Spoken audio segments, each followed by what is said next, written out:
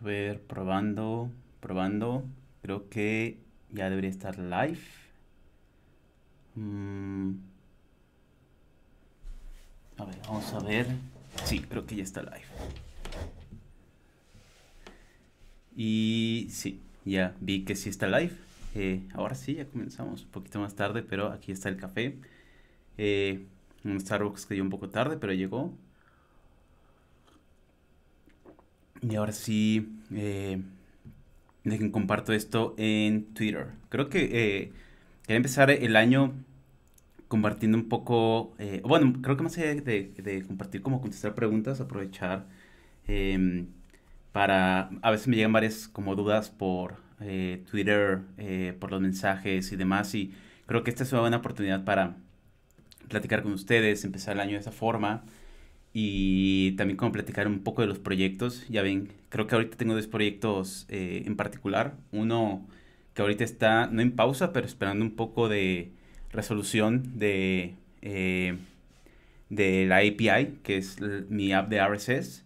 Eh, no estoy esperando que eh, el año nuevo, bueno, ya este 2023, que pueda tener un poco de comunicación con, comunicación con los de Feedly para contestar algunas dudas. Y el otro es uno que hablé hace poquito, que es la app de React Native.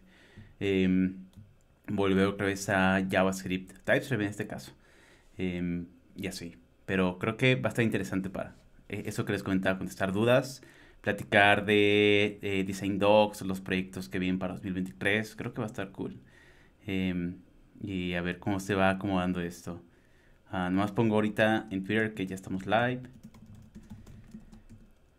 Eh, ah, y también mi configuración de Neobim. Hace poquito vi un, eh, un video bien interesante, como que el usuario se llama de PrimeGen, de PrimeGen, algo así, eh, que estuvo muy cool y como que me inspiró a empezar de cero mi configuración para saber muy bien qué es lo que quería. Y ahorita de hecho me falta más una configuración más, o sea, un plugin más, pero estoy muy a gusto con la configuración que tengo ahorita. Em, y, igual les platico como qué onda por si tienen dudas de por dónde empezar y así.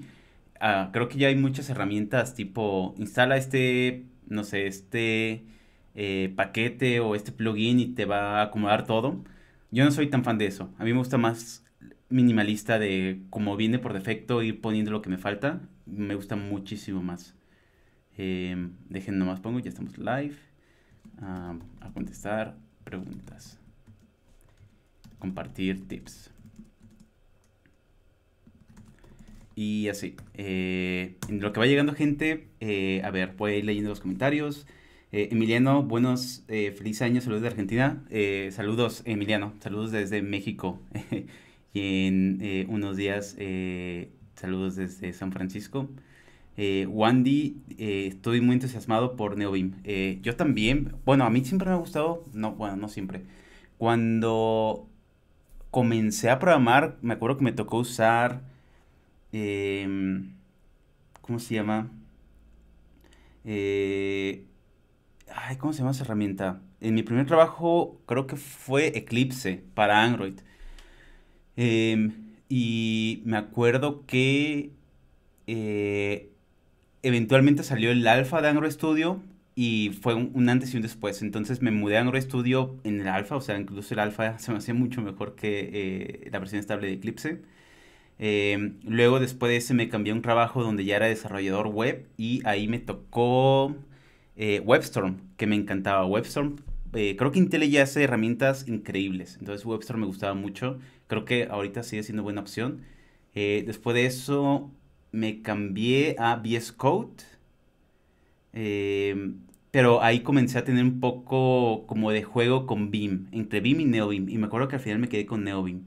Eh, y ese fue mi tercer trabajo, creo que sí. Y mi cuarto trabajo ya fue full NeoBeam, o sea, ya dejé de usar VS Code y demás. Eh, y seguí usando NeoBeam hasta que llegué en Google, eh, porque en Google pues está como el propio editor y la ventaja de eso era pues que hay plugins. el editor que tenemos en Google es, se llama CiderB que es como si fuera un Visual Studio Code eh, en el browser. Entonces, eh, el hecho de tener ya todo armado con configuraciones exclusivas de, em, de Google para eh, pues trabajar para ciertas configuraciones eh, o para el repositorio, pues se me hacía más fácil. Eh, aparte, Google es, tiene su propia configuración con, em, con Beam, pero como que mi curva de aprendizaje era más ahorita de, ¿sabes qué? Quiero sacar como la chamba o los pendientes con NeoBeam, con, con VS Code. Entonces me metía ahorita eso, ¿no? Y este los últimos días del año como que empecé pues a jugar un poquito con otra vez NeoBeam, limpiarlo, las configuraciones y demás, ¿no? Entonces, pues llevo como que esta curva de experiencia con NeoBeam de años eh, en el que me ha gustado mucho, muy, muy rápido. Eh, y creo que ahorita voy a hacer como address de, de algunos de los comentarios, pero a mí NeoBeam se me hace un editor tan a la medida del developer. O sea, NoBeam al inicio es nada, o sea, es un editor muy pelón. Pero este hecho de poder tú seleccionar plugins, de configurar, de correr scripts de Lua, a mí se me hace impresionante cómo puedes crear tus scripts de Lua y hacer tus propias configuraciones, bindings. Se vuelve súper a tu medida. Y llegó un momento en el que yo estaba así trabajando, ya sin tocar el mouse y abría eh, splits, mi buffer a un lado, luego hacía splits para abrir la terminal, luego esconderla, nunca tocando el teclado, eh, nunca tocando el mouse. Y más allá de verse como uno, no sé, tal vez muy Matrix y demás, deja de lado eso, es, para mí se me hace increíble. Entonces, por ejemplo, Jesús dice, Lunar Beam creo que es uno de esos. Y sí, me acuerdo de Lunar, ahí creo que se llama Kickstarter o Kickstarter o algo así, eh, que también es como de, eh, aquí tienes todas las cosas básicas y comienza. Ay, yo me, no acuerdo con cuál comencé, pero me acuerdo que lo que no me gustaba era tener que estudiar como una guía para saber cómo usar como, no sé, eh, estas herramientas, eh, como estos plugins que hacen de todo, ¿no?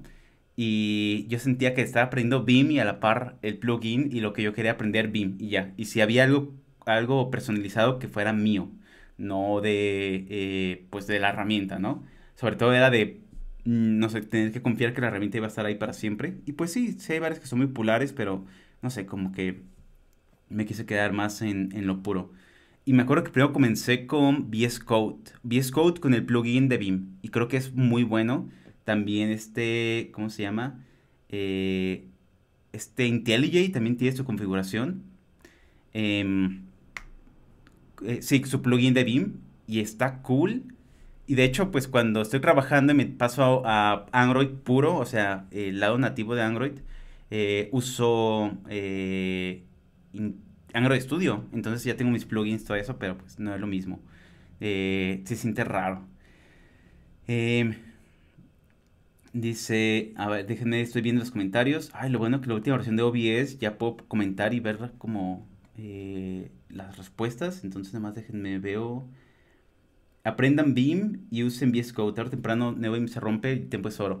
Estoy de acuerdo como parcialmente en eso, Jorge. Estoy de acuerdo en, aprender Beam, está cool, te abre muchas puertas y sobre todo cuando estás jugando en la terminal o cuando estás conectado eh, a algún server, incluso como frontend, pues te toca moverle, eh, aunque estés en el server. Entonces, eh, pues está útil saber Beam o NeoBeam. Em, pero en mi caso, fíjate que nunca se me ha roto el editor. O sea, no lo siento como en Linux, que sí siento que algunas configuraciones se me rompen, pero en NeoBeam nunca se me ha roto. Se me, creo que las pocas veces que me pasa es que algún plugin como que requiere una versión más nueva de NeoBeam y se me olvidó cómo utilizarla y nomás que utilizo ya. Pero fíjate que ha sido como bastante estable. Y sí me ha pasado que VS Code una vez se me rompió cuando me fui a la versión Insider y se rompió un plugin de eh, Flutter con Dart. Entonces me tuve que regresar la versión estable. Entonces eh, le doy voto de confianza a Neobim. me gusta mucho y creo que sí es muy estable. Eh, Miguel dice, aún sigo usando COC, ¿cómo se llama ese? Code of, con, Conqueror of Code, lo que se llama. Y Typical Beam, ese no sé cuál sea Typical Beam. Eh, quiero aprender de tu config de NeoBeam. Fíjate que yo también hasta hace poquito he estado usando COC. Pero siento que ya ahorita como que ya hay una ya una onda estable de los LSPs en, eh, en NeoBeam. igual vamos a ir como moviéndole un poquito mientras voy contestando preguntas. Em, y...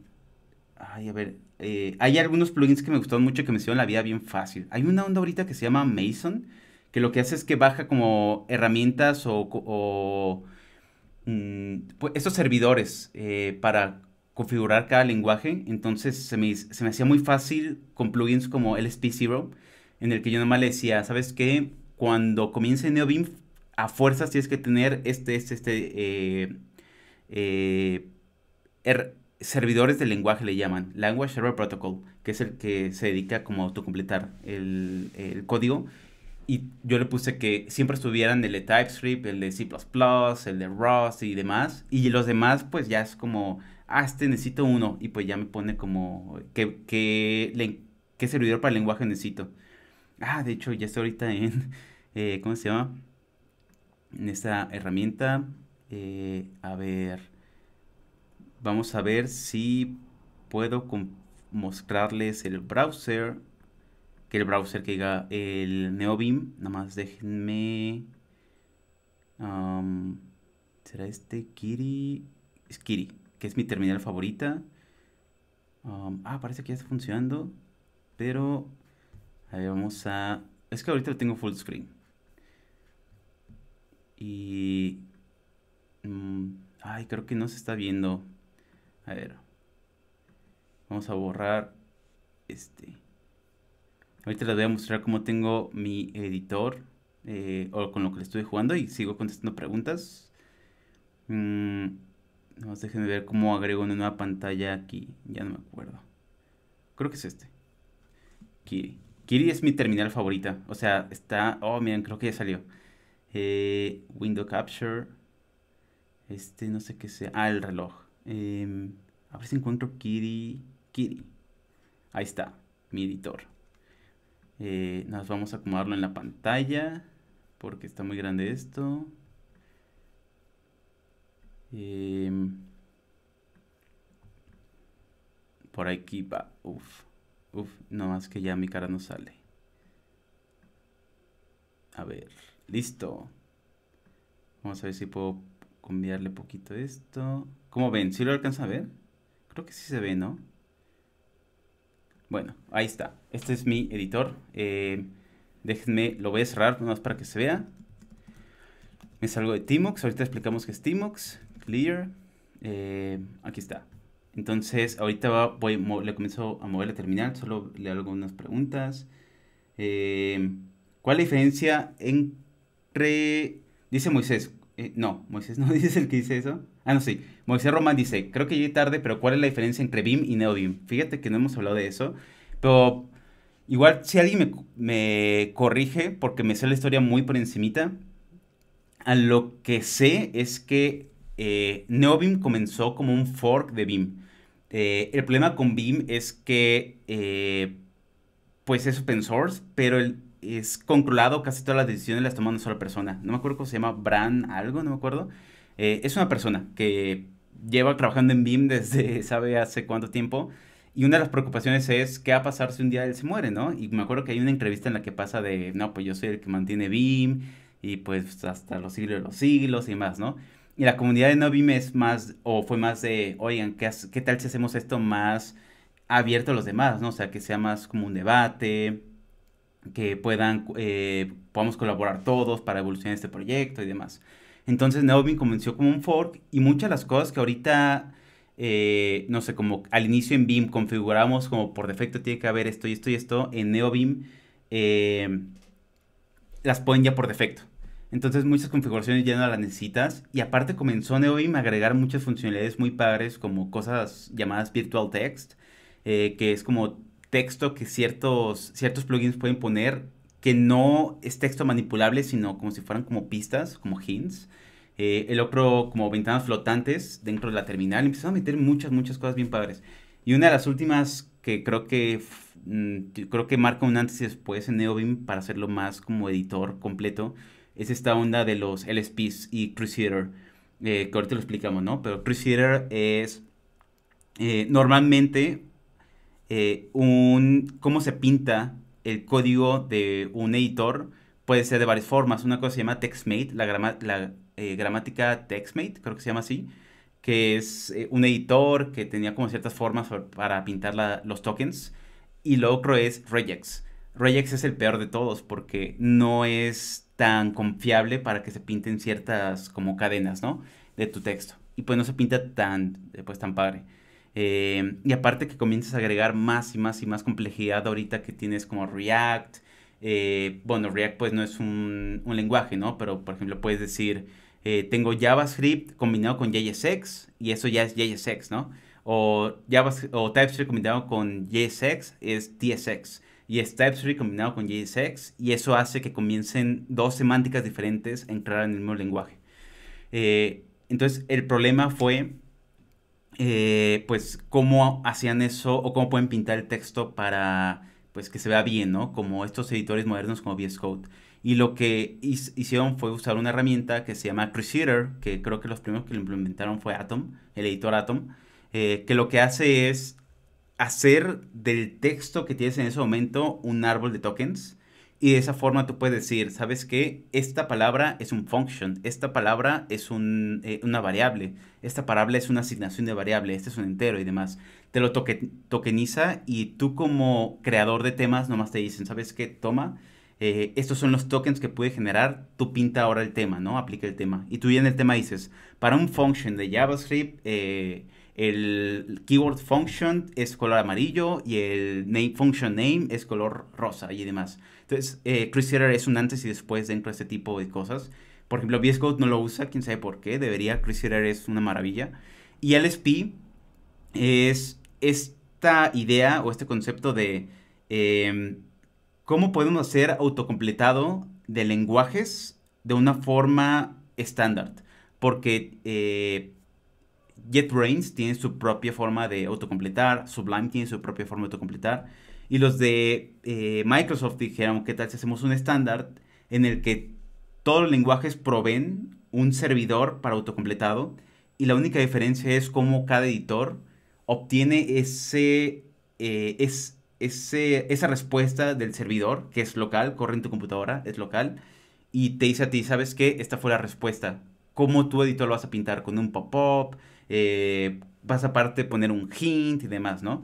Em, entonces, LSP es eso. Permite que cada, por ejemplo, cada lenguaje o cada herramienta o cada compañía provee su, propio servidor protocolo de servidor, Language Server Protocol, eh, protocolo de servidor de lenguaje, de idioma. Eh, entonces, tú como developer que trabajas en esa herramienta, eh, haces el servidor autocompletado, se lo expones a cada editor y el editor lo usa para poner su propia UI encima de eso.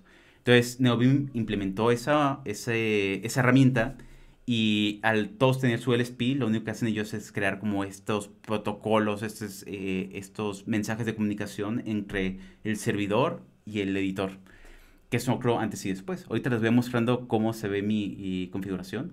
Igual hago como un eh, una pausa ahorita. Eh, déjenme ver si hago un poquito más de zoom. Ay, me equivoqué. Ahí está. Y por ejemplo, eh, este es como la bienvenida, mi pantalla de bienvenida. Nada más me regreso. Estoy en mis dot files.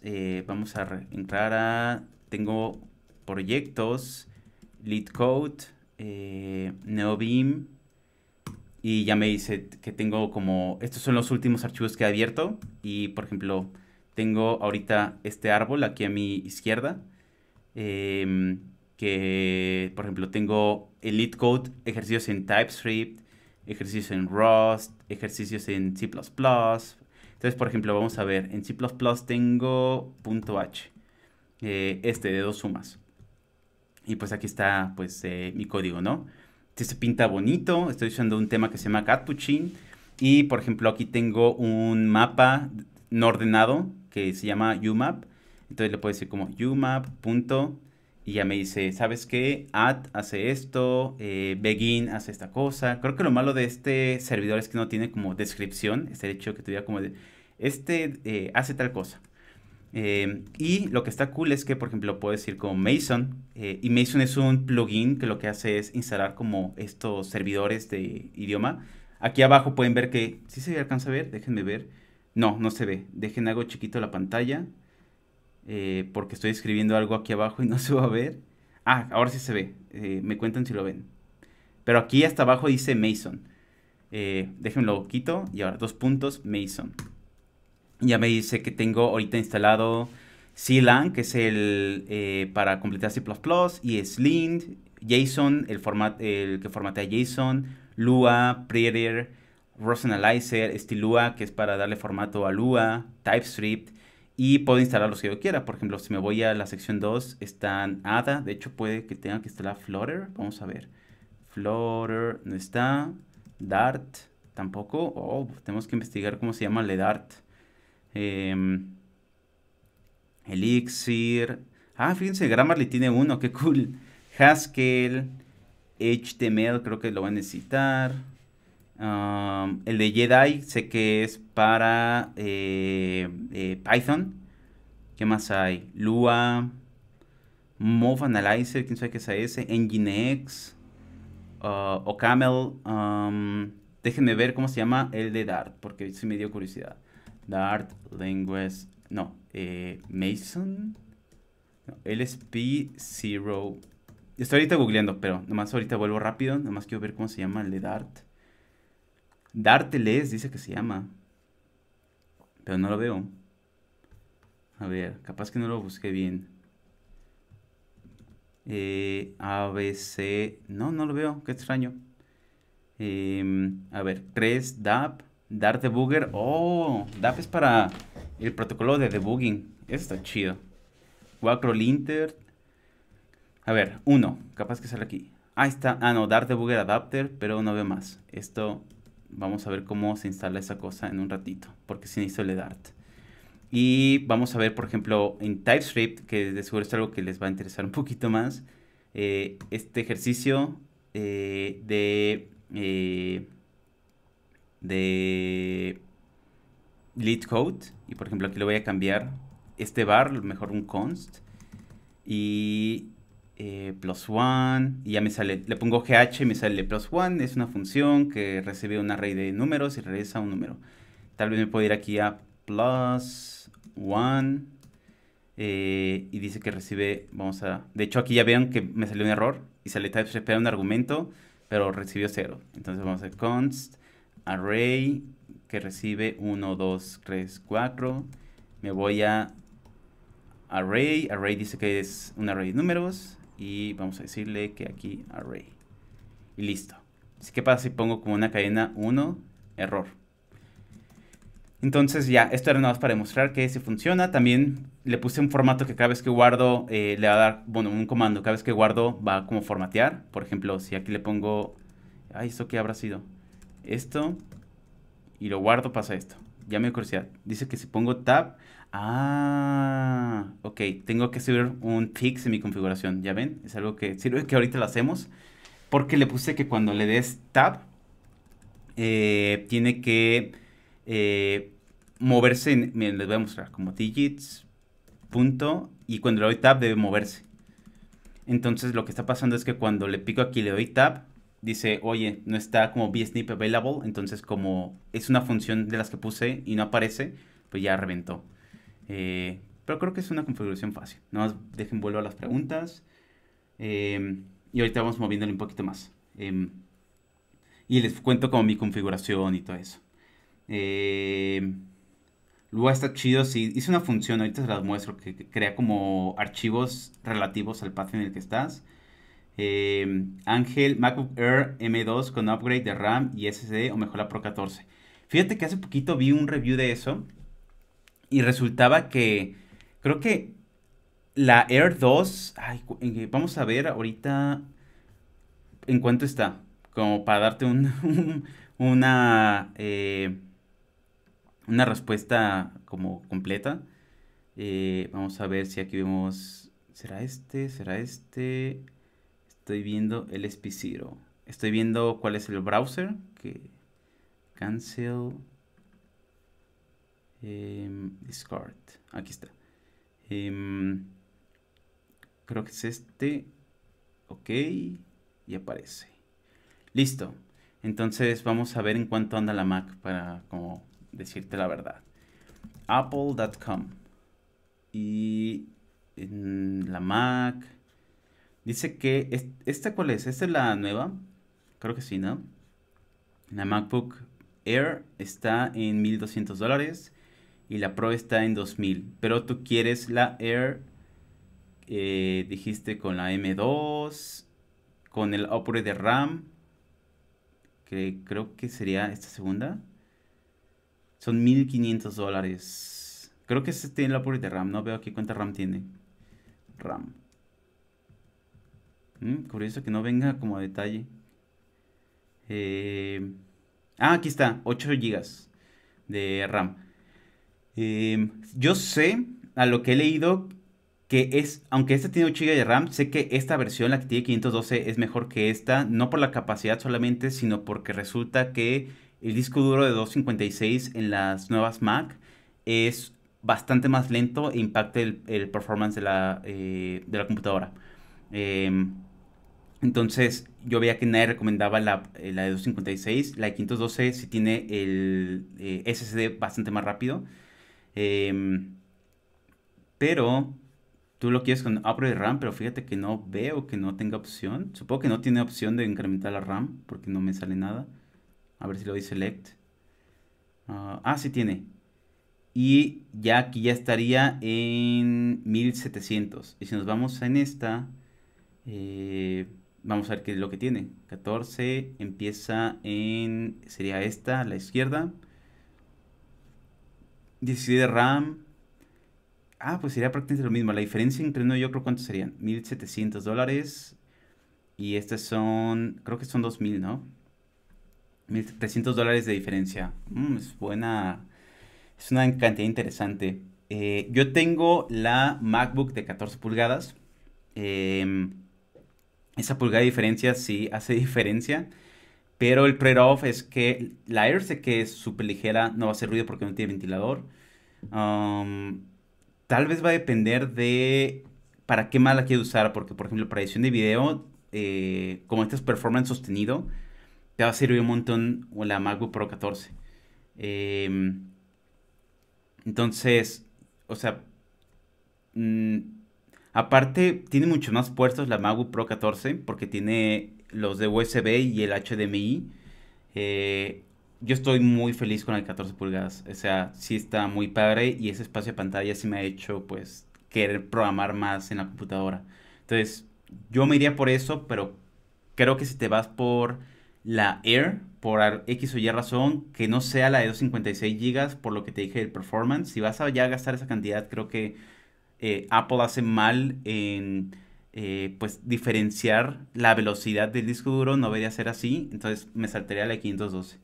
Em, pero creo que para programar ambas están sobradísimas para lo que necesitas. Vas a estar súper a gusto. Incluso para el desarrollo móvil va a estar muy, muy a gusto. La RAM normalmente la piensas mucho cuando tienes containers y demás. En mi vida yo he trabajado con containers, muy pocas veces trabajo con containers, entonces yo no he tenido nunca ese problema. Em, pero sé que hay gente que sí trabaja mucho con eso, entonces depende un montón también de, eso.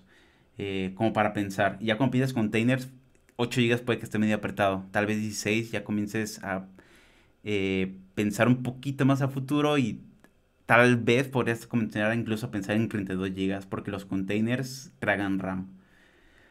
Em, vamos a ver otra pregunta. Mientras ponemos el editor de fondo otra vez porque, ¿por qué no? Eh, Kiri. Y bueno, no, de hecho mejor. Ahorita, ahorita ponemos el código. Em, dice Joaquín, eh, ojalá, eh, hola, ojalá andes bien, gracias Joaquín, un saludo. Te quería preguntar si crees que la carrera de Mobile Development es buena y tiene futuro. Eh, yo creo que en general, más allá de decir como Mobile Developer, Web Developer, debería ser como Software Engineer. y eso implica mm, irte adaptando al trabajo que tienes que hacer. Eh, ¿Qué significa esto? Eh, por ejemplo, te voy a contar mi experiencia y tú me puedes comentar ahorita, eh, pues, si te hace clic esto. Em, pero yo empecé como mobile developer, cosas de la vida. Em, trabajé en un proyecto de Android en una empresa. Después de eso me tocó cambiarme a web developer y fue porque en, la nueva empresa era lo que había. Al final de mi periodo en esa empresa me tocó volver a trabajar en, eh, como mobile developer usando React Native, justo cuando iba empezando React Native. Em, de ahí me cambié otra vez a web developer, ahora con React. Eh, durante, usé React unos cuatro años, tal vez, tres años seguidos. Luego me cambié a otra empresa donde sigo usando React, nos llevan cuatro años usando React. Y ahorita en Google eh, no me toca hacer web tal cual, pero el framework es diferente, es Angular. Me toca hacer muchísimo mobile, eh, pero es un framework, interno, entonces eh, pues me toca adaptarme, ¿no? Y lo que quiero decir con esto es que creo que más allá de decir debería ser mobile o debería ser web o debería ser no sé cuál otra más allá, eh, developer maybe, eh, debería ser más como software engineer. Y esto significa em, tener las bases fuertes porque saltar entre lenguajes siento que es relativamente fácil, las bases son las mismas. Eh, es más como, este es el problema, qué herramientas conozco, eh, cómo documento las cosas, cómo plasmo el problema para comenzar a trabajar. Em, si lo piensas de esa forma, no existe como ese temor de em, debería ser X cosa porque puede que no tenga futuro, porque software engineer tiene mucho futuro, incluso ahorita que va llegando Copilot y demás, software engineer no es tal cual como quiero codear, sino quiero em, solucionar problemas. Y parte de eso es documentación, eh, resolución del problema con tus compañeros de equipo y demás. Si lo pones en, esa, en ese punto, incluso tú comienzas a absorber las herramientas que están a tu alrededor como Copilot, eh, cuál más está llegando, ChatGPT, y no verlas con miedo, sino con eh, alegría, ¿no? De ah, un trabajo menos, eh, me voy a enfocar más en esto, porque si se fijan, ChatGPT o em, Copilot no escriben código solito, o sea, hay un input que el developer mete para que haya una respuesta. Y el resultado es mejor, entre mejor o entre más detallado sea esa introducción de información que le estamos dando, ¿no? No ocurre mágicamente, no, no lee nuestra mente, entonces eh, es algo que eh, es interesante de volver otra vez, dar unos pasos atrás y decir, ok, como software engineer, ¿qué tengo que hacer? ¿Ya qué tengo que, eh, con qué tengo que hacer las paces, ¿no? creo que dejar de pensar un poco, en, poco en código y, pensar en la, y dejar de pensar en las ramas de mobile, web y demás y decir, ok, ahorita en esta empresa me toca hacer esto eh, cómo me desarrollo, cómo hago lo mejor, cómo documento, cómo causo impacto, cómo conozco el producto y genero ingresos. Es eh, lo que pienso, pero dime, eh, pues, ¿qué te parece? o qué es lo que, si te hace clic o quieres que entre más a detalle. Em, vamos a ver. Bobox dice, ¿tienes compañeros que trabajan en soporte técnico? ¿Qué hacen? o sea, compañeros en el sentido de compañeros de trabajo sí, que yo los conozca, pues no. no me ha tocado como platicar con gente del equipo de soporte técnico. Eh, yo estoy más en la parte de desarrollo y, mis compañeros tal vez lo más pegado, o incluso yo, lo más pegado que nos ha tocado hacer, eh, hacer es eh, trabajar muy de cerca con compañías como Samsung. Por eso me tocó ir a la conferencia el año pasado. El año pasado, ya puedo decir eso con, al evento de Samsung en el que nos explicaban las APIs que seguían, los foldables y todo eso. Eh, y pues se trató mucho de eh, partnership. Entonces, eh, me toca más eso, o sea, lo más cercano que me ha tocado es como trabajar muy de cerca con estos partners para hacer fixes, conocer el producto y demás. pero um, me acuerdo que en una empresa sí me tocó trabajar muy cerca, con soporte técnico. Lo que me acuerdo que hacía mucho era una compañera. Era, eh, pues estaba muy al tanto del chat, ¿no? Teníamos un chat, eh, como llame la burbujita que le piques, esas preguntas. Y ella iba como traqueando todas las, eh, los requests que la gente pedía, les ayudaba como a arreglar cosas. Y ella era como nuestra capa de abstracción hasta cierto punto en el que ella decía, esto sí es algo que yo ya no puedo resolver, ya le di estas pistas o eh, lo que sea, la persona no puede resolver el problema, entonces es un bug y ya no lo pasó a nosotros. Y también generaba métricas, nos decían, ¿sabe qué? Este feature es el que más pide la gente, me están diciendo como que falta mucho esto y demás. Entonces era bien útil como para saber hacia dónde ir moviendo el producto. Em, estaba interesante lo que hacía. Eh, Wandy dice, el nuevo en la palabra nuevo BIM significa nuevo en griego, sería como el nuevo BIM. Y se siente nuevo, o sea, sí, está muy cool. Eh, gracias por la info, Wandy. Eh, Jorge dice, ¿has trabajado con alguna consultora en tu carrera como developer? Si es así, ¿cómo ha sido tu experiencia? Em, no me ha tocado trabajar en una consultora siendo yo un consultor, sino, por ejemplo, yo trabajé en Whiteline y no, no sé si yo lo he comentado antes, lo he contado como en algunas conferencias. Em, pero cuando yo estaba en Whiteline, Whiteline es una consultora, yo estaba en el área de producto. Whiteline en ese momento tenía producto y eh, servicios. Entonces, cuando yo entré, me tocó estar en producto, eh, que estuvo muy padre. Trabajamos justamente en un producto que se llama Whiteline. Esa es la razón por la que se llama Whiteline. Por el producto tenía ese nombre y era eh, como mm, para ayudar a, ayudar a los project managers a saber cómo priorizar tareas, el backlog y demás. Eh, eventualmente servicios les generó más ingresos, entonces pivotearon a hacer full servicios, el nombre se quedó. Y no sé si les tocó a ustedes, eh, si escucharon de Guadalajara o Ciudad de México, eh, que Whiteline antes estaba dividido en Whiteline y White Services, que era la consultora. Y aquí ya como las historias del pasado. Ya eventualmente se, Whiteline compró White Services y se quedó como todo Whiteline y nosotros seguimos siendo producto y servicios era ahora la mayoría.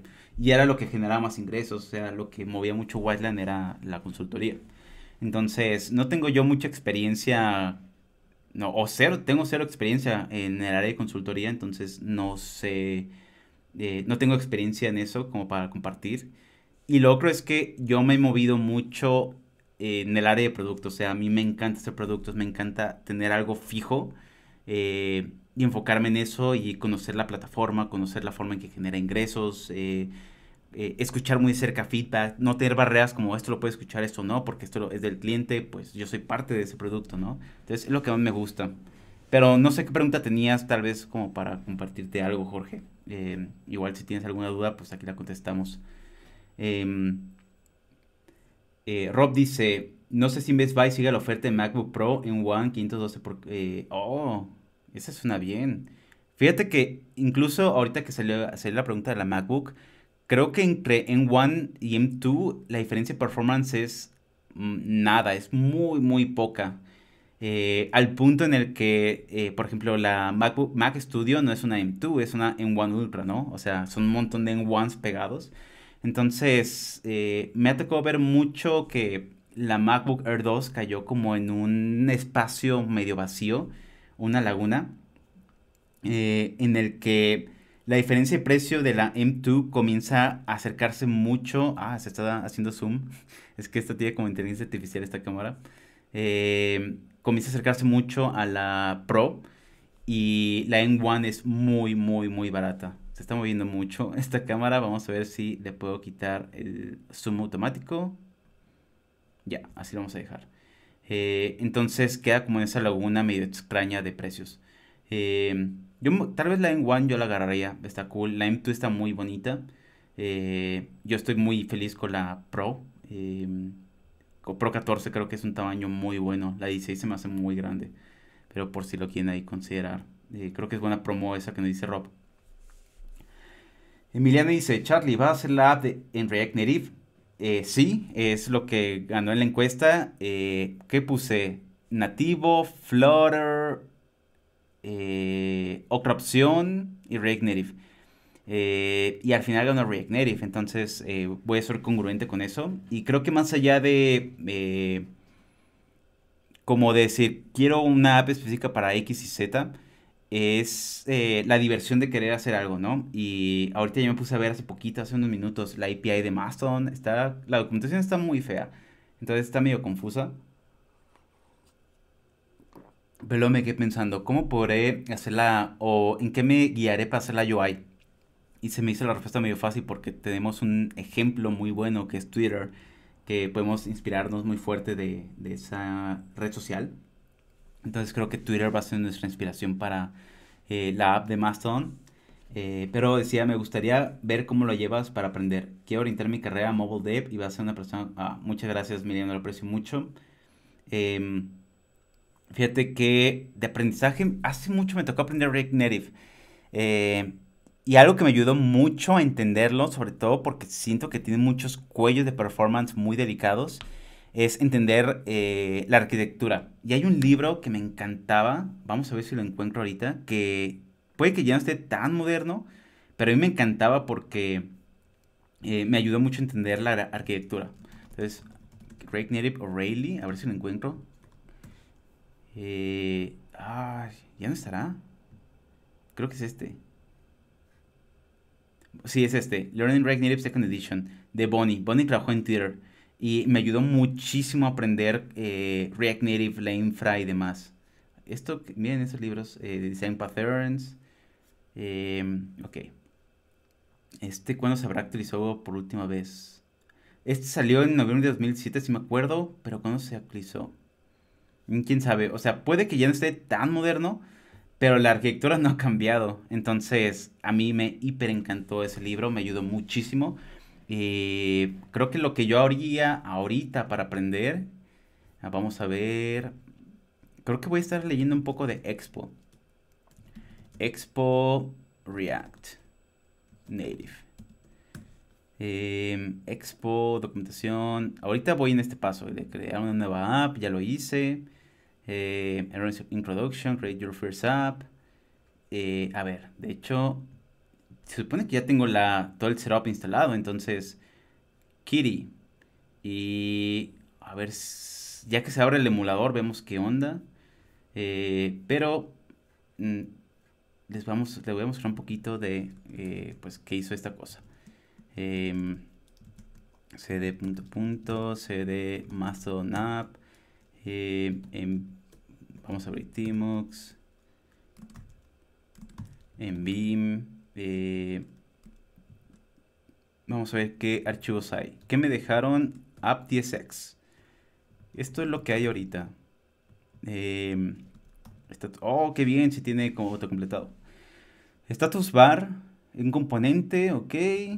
Export default function app, eso me acuerdo que es igual. Parece que esto es algo que quiero investigar, los estilos. Me gustaría ver si puedo em, eh, ver alguna herramienta de estilos. O sea, no me agüita usar estos estilos, esta forma de crear estilos, pero si hay una forma como un poco más reusable estaría bien.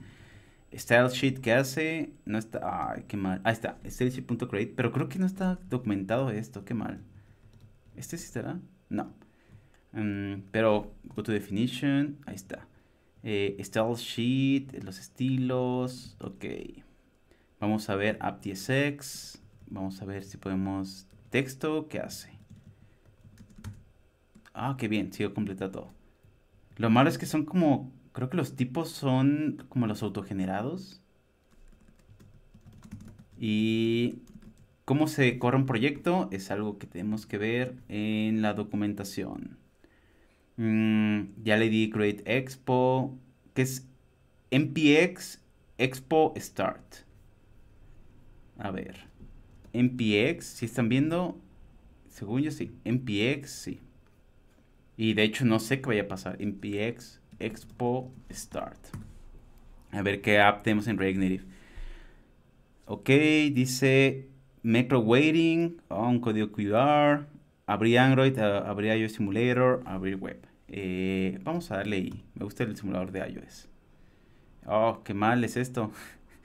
esto no era inesperado. Enable ¿Por qué? ¿Qué significa esto? Ok. Supongo que el simulador no se abrió. Um, ok. No. Wow. Yo ya sabía que React Native como que no se me decía como tan estable en algunas cositas. Vamos a abrir otra vez. De hecho hizo... ¿Modificó algo? Ah, no, ya me acordé. npx expo start. Aquí aprendiendo juntos cómo correr React Native. Ok, vamos ahora a correr Android. Parece que Android se va a jalar. Android me eh, se ganó mi voto de confianza hoy. Eh, ok. Mm, ah, creo que ya lo abrió. Voy a compartir pantalla de ese cachito. Em, a ver. Window, Window, macOS. Android Emulator. Eh,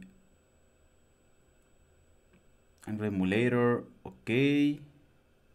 Y quiero que sea un window. ¿Dónde estará Kemu? Creo que es este. Oh, miren, ahí está. Ah, está muy grande. Vamos a ponerlo aquí.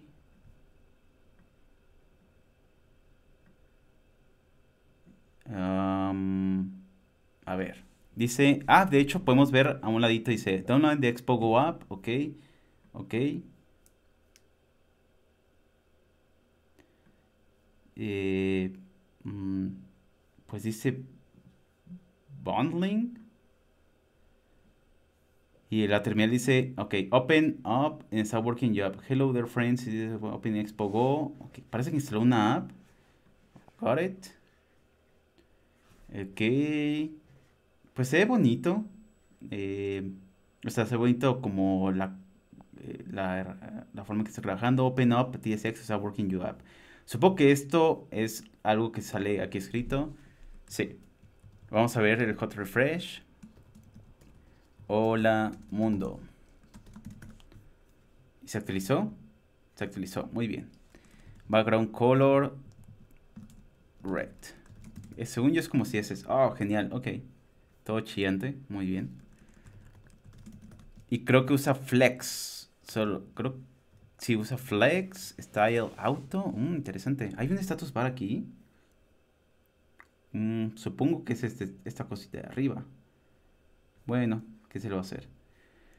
Eh, OpenIOS Simulator. A ver, de hecho tengo mucha curiosidad en eso. Ya cerré esto. Vamos a abrir. Creo que puedo abrir la iOS Simulator iOS Simulator. Ah, según yo se puede abrir el simulador de, ah, de iOS desde la terminal. Simu... Hmm. A ver, porque si quiero ver que corra el simulador de iOS. Eh, como era Expo, Expo Start. Y debería decirme, ah, ¿quieres iOS? Sí quiero iOS. Y ahora me dijo X. Ah, según yo, XC Run es el de el simulador. Entonces, algo me dice. Vamos a esconder este emulador. Algo me dice que va a ser porque no he, aceptado algunos términos o condiciones. Yo creo que va a ser eso. Um, file, editor, product, debug. Ah, ¿por qué no? Mm, no encuentro... A ver, si alguien se acuerda cómo eh, abrir el simulador eh, de iOS. Open iOS Simulator from Terminal. Eh, no, déjenme ver. Voy a configurar, voy a pasar al browser. Aquí ando. Em, ¿Cómo abrimos el simulador? Ah, genial. Copiamos, luego me voy a terminal. Y se abrió, sí se abrió un simulador, solo que vamos a ver si jala. Nada más que cargue el simulador y ahorita les muestro, eh, vuelvo a correr el comando y a ver si jala, si no pues ya vemos otro día, ni modo. Eh, nos habrá dejado abajo el simulador de iOS. Mira, lo que estoy viendo, ya está el simulador de iOS aquí vivo. npx expo start. Y luego dice, ¿quieres abrir iOS? Y yo abrí iOS. Ya está. Parece que tenía que abrir por al menos una vez el simulador. Entonces vamos a abrir la pantallita. Eh, open. Ahorita les voy a mostrar. Ya tengo el simulador de iOS abierto. Es este macOS iOS Simulator. Y ahorita les muestro Window Capture Simulator. A ver si lo puedo hacer chiquito. Aquí está. Aunque creo que la app no se ha abierto. Parece que se quedó ahí diciendo Expo. Mm. Ok, nomás dice Expo. Parece que ya cargó algo, ¿no? Aquí está. Bundling JavaScript Bundle. Building. Building JavaScript Bundle. Y lo mismo que la otra vez. Got it. Sí. Hola mundo. Ok, ya funcionó. Entonces ya estamos felices. Ya está jalando en ambos lados. Se logró. Todos felices aquí. Vamos otra vez a las preguntas porque es un paso chiquito, pero pues importante. Eh, ¿Qué más? ¿Qué más? Ay, no veo. Ah, ya me acordé. Lo que sea eh, de compartir la experiencia, creo que lo que voy a hacer es a cómo funciono yo y creo que es la razón por la que, ay, veo que no me estoy viendo, aquí estoy. La razón por la que me gusta mucho eh, como hacer apps o tirar eh, ideas es que puedo aprender. Entonces, en este caso, pues, en cierto punto, pues, este año voy a trabajar más con TypeScript en el trabajo, entonces, pues, quería volver otra vez a jugar con TypeScript y creo que, pues, perfecta la ocasión. Puse el proyecto, eh, eh, un template de TypeScript para Expo. Entonces voy a procurar como compartir lo que vaya descubriendo. Creo que la última vez que usé React Native había mil formas de hacer navigation. A ver si en esta ocasión no me encuentro con mil formas de hacer navigation. Eh, o que hay una librería más popular, lo que sea. Vamos a ir viendo. Pero creo que va a ser interesante. Eh, lo que no me gustó, dice eh, GU, lo que no me gustó de las M2 es que volvieron al diseño sin puertos. Sí, creo que nomás tiene dos, ¿no? Pero creo que más allá de, la, eh, de que sea M2 es que parece que la Air la están diferenciando mucho. Hay una palabra que me toca leer mucho que la dirigen hacia Apple, que es... Em, eh, ay, ¿Cómo le llaman? Como clasificación artificial algo así. Que es... O diferenciación artificial, que es eh, tener dos productos cuyas cualidades internas son prácticamente las mismas, pero que tienen limitaciones que son demasiado obvias, eh, que uno diría, ¿sabes qué? Esto está mal o esto no tiene sentido, pero lo hacen para que la gente tenga que decir, y sabes qué, me gustaría el puerto HDMI, pero me gustaría que esté muy ligera la compu, ¿no? Entonces tiene sentido para mí una Air porque no uso tantas cosas, pero solamente por el puerto HDMI tengo que pagar un precio mucho más alto, ¿no? Entonces, es esta onda como de forzar a la gente pues a, que vaya a comprar ciertas cosas. Em, y así. Me gustaría como alejarme un poquito más del mundo Apple en el sentido de, ya lo estoy haciendo, de tener un poco de variedad em, en mi ecosistema para no estar amarrado. Algo que ya caché es que cuando uno se amarra a ecosistemas, ya pelaste y tienes que comprar como incluso cosas caras solamente por ese ecosistema. Y lo que yo estoy procurando hacer es como apostarle a muchos ecosistemas para ver qué onda, ¿no? Por ejemplo, tengo ahorita Android, pero al menos Android no me está atando a... Tienes que usar esto y tienes que usar cosas de Google, porque que si, si, quisiera, por ejemplo, me podría migrar a, servicios de Amazon siguiendo usando Android, ¿no? Entonces creo que esa herramienta me da flexibilidad. La Mac me está gustando porque me está dando flexibilidad. Eh, el iPad no me gusta porque siento que es de todas las cosas que hay de Apple, es el más, el que más te encierra, el más limitante. Y eh, eh, en Android me gustaría ver más, más aplicaciones de tamaño grande, pero creo que este año puede que esté bien interesante, eh, porque va a ser la Pixel Tablet. Entonces me miraba mucho ahí porque ahorita que estoy usando la Tab S8, me encanta el multitasking que tiene. El de el iPad, yo creo que lo estaba como viendo con mucha admiración así de al fin el Stage Manager va a ser como la revolución. Neta le tenía mucho, mucha fe y estaba muy emocionado porque el iPad es de mis productos favoritos de Apple y fue como mi decepción más grande eh, de este año. Em, sí, se me hizo muy, muy chafa esa implementación. Como reinventar la rueda de algo innecesario cuando el multitasking ya es muy natural, ya está en nuestra mente y pudieron haber hecho eso y dijeron, hay que hacer algo que no parezca Mac y no me gustó. Entonces, quiero como que apostarle muchas cositas. Eh, ¿Cuál es tu color, tu color scheme? Estoy usando Capuchin. Em, de hecho, podemos ir a mi config. Vamos a abrir otro tab. cd, cd dot files. Eh, en Beam. Y creo que aquí dice colors. Y aquí está Capuchin. ¿Sí está? ¿Se ve mi terminal? Sí, aquí está Capuchin. Em, me encanta este, eh, de hecho también lo tengo en, en Visual Studio. Em, y de hecho aquí como jugando un poquito con Lua, por ejemplo, Eh, aquí está function, es un keyword, dice function use color scheme, eh, espera color de cualquier tipo. De hecho, no sé si hay tipos en... ¿Funciona así? string, por ejemplo. No. Parece que no son dos puntos. O será como en C++ que es string color. Miss symbol. Ah, parece que no. no. Mm, supongo que no tiene tipos. No sé cómo podría tipar esto, pero no estoy experto en Lua. Pero por ejemplo, hace poquito hice una función que se llama enFile.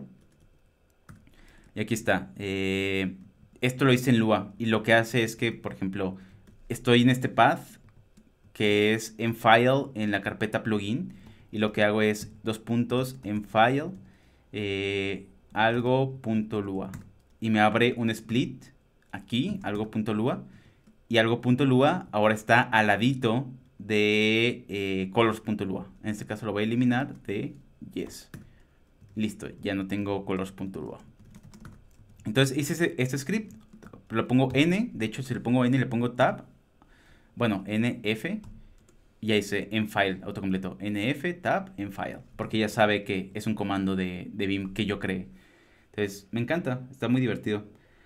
Copilot ahorra tareas repetidas eh, Rob dice Copilot ahorra tareas repetidas que ya he hecho en el proyecto de acuerdo acá en Google tenemos otro que no es Copilot eh, pero sí, eh, incluso a veces no me acuerdo cómo hacer algo y me autocompleta como ciertas líneas y es de, ah, esto es lo que quería. entonces, eso se hace muy, muy a gusto como developer. Eh, Ansa dice, ¿dónde encuentro tutorial para configurar NeoBeam? No tengo un tutorial, pero te puedo como compartir eh, YouTube. A ver, nomás déjenme, quito la ventana de Kiri. Estamos aquí en YouTube y luego le pongo de Prime again. NeoBeam será? Creo que es este. Em, I'm done. Creo que es este. De hecho, aquí está como medio avanzado. Em, entonces voy a copiar esto. Siempre que pruebo ahorita el chat de OBS. Ay, me equivoqué. Bueno, así. Tutorial de NeoBeam. Ese fue el que chequé, pero ahorita les explico mi configuración. Pero fue este el que tomé como inspiración. Eh, y ahorita les cuento un poco, pues, mi setup y así, ¿no? Eh, Moisés dice, los comandos de BIM y NeoBeam son los mismos. Sí, de hecho es un fork, este, lo que decía hace rato, NeoBeam es un fork de BIM. Entonces son los mismos. Aprendes uno, te vas al otro, cuáles serían como que los comandos. Eh, sería como la forma en cómo te mueves, ¿no? En, el editor. Eh, déjenme quitar el browser, vamos a Kiri. Y por ejemplo es como, vamos al código aquí. Por ejemplo, me estoy moviendo con H eh, L se mueve a la derecha, eh, H se mueve a la izquierda, J, eh, J se mueve hacia abajo, K se mueve hacia arriba, V selecciona texto y lo que selecciona, por ejemplo, D y ya lo borré. U para borrarlo. Si quiero eliminar algo adentro de estos, estas llaves es C y llaves, que es como eh, la letra C, que sería, en mi caso lo leo en mente como change, la I de inside y el símbolo curly braces y ya lo borro. Y ya lo copio, entonces lo puedo pegar aquí. Y también me gusta esto. Eh, ah, creo que eso no lo tengo configurado todavía. Pero quiero ponerlo de que si selecciono el texto lo puedo mover. Pero ahorita tengo como que puedo mover una línea. Em, también, por ejemplo, delete sería la D. Delete inside curly braces. Ya se borró esto. Creo que me falta, a ver, change inner tag. Ah, sí funcionó. Delete inner tag. Eh, entonces, pues sí, los comandos son los mismos. Eh, y unos que vas a agregar, ¿no? Por ejemplo, quiero seleccionar esto y decirle comentar, gc, listo, gc, y otra vez gc. Creo que me gustaría que este fuera como comen de bloque, entonces lo voy a ahorita poner. Eh, para que esté como listo. Eh, también le puse GH, GH hace hover, entonces me muestra de qué tipo es esto. Function GH, em, background color, dice de tipo string. GH, GD lleva la definición. Entonces, si le doy aquí styles y le digo, vea la definición GD. Ah, me equivoqué, ese no era. Eh, este GD me lleva este de abajo, porque styles fue definido aquí. Y vamos a ver si autocompleta. G.container. Sí, aquí está. Container, ¿cuál es? Es este. GD. Y así. Entonces, son mis comandos. O creo que yo puse de split. Es, por ejemplo, si pones dos puntos, guardo esto. Dos puntos, B split. Parte la pantalla en dos. Y en mi caso lo uso tanto que le pongo espacio, V. A ver. Y ya está. Espacio V y abrió esto dos puntos Q, lo cierro, dos eh, si tengo como esto, dos puntos QA, se abre. Eh, si pongo dos, eh, control B, abre este panelcito. Me falta un plugin para no tener que abrir esto siempre. Em, y ya, o sea, me gusta mucho lo ágil que es todo esto. Pero ahorita les explico qué onda con esta configuración. Eh, Rob, la app de Tatbots es la mejorcita que he usado para Mastodon. Eh, yo tengo Android, entonces eh, pues no puedo usar eso. Pero eh, si me puedes enviar screenshots estaría cool para inspirarme. No les robo el diseño, pero sí como digo, ah, esto está, cool. GU, ¿crees que sea viable tener un ecosistema de dispositivos Google? Me gusta Apple, pero preferiría cortarme un dedo que cambiarme al Google Assistant por Siri. Uh, súper de acuerdo. Siri creo que es el peor de los eh, de los Voice Assistant, pero por mucho, mucho, mucho. Eh, Alexa se me hace muy bueno, Google Assistant se me hace muy bueno. Eh, incluso, no sé, hasta siento que Bixby es mejor que Siri. Bixby, el de Samsung. Em, creo que algo que me gusta mucho de Amazon, Amazon puede que sea un poquito más estricto, pero Amazon y Google es que son mucho de multi, de tener un ecosistema abierto, en el sentido de que sí estás dentro de Google, pero en cualquier dispositivo, ¿no? Eh, por ejemplo, si usas eh, Google Assistant, no estás atado a, em, a tener que usar, por ejemplo, YouTube Music. Puedes usar lo que tú quieras, ¿no? Y me acuerdo que Apple al inicio con Siri solamente era Apple Music y hasta después, hasta al año o dos, que sacaron el feature, permitieron Spotify. Entonces, esas cosas como de amarrarte y usa mis productos porque sí, no me gustan nada, nada. Entonces, yo lo veo muy viable. Eh, incluso veo gente que le gusta mucho el ecosistema de Google, pero le gusta el iPhone y pues se queda con su iPhone y ahí tiene todo lo de Google. Entonces, lo veo muy viable.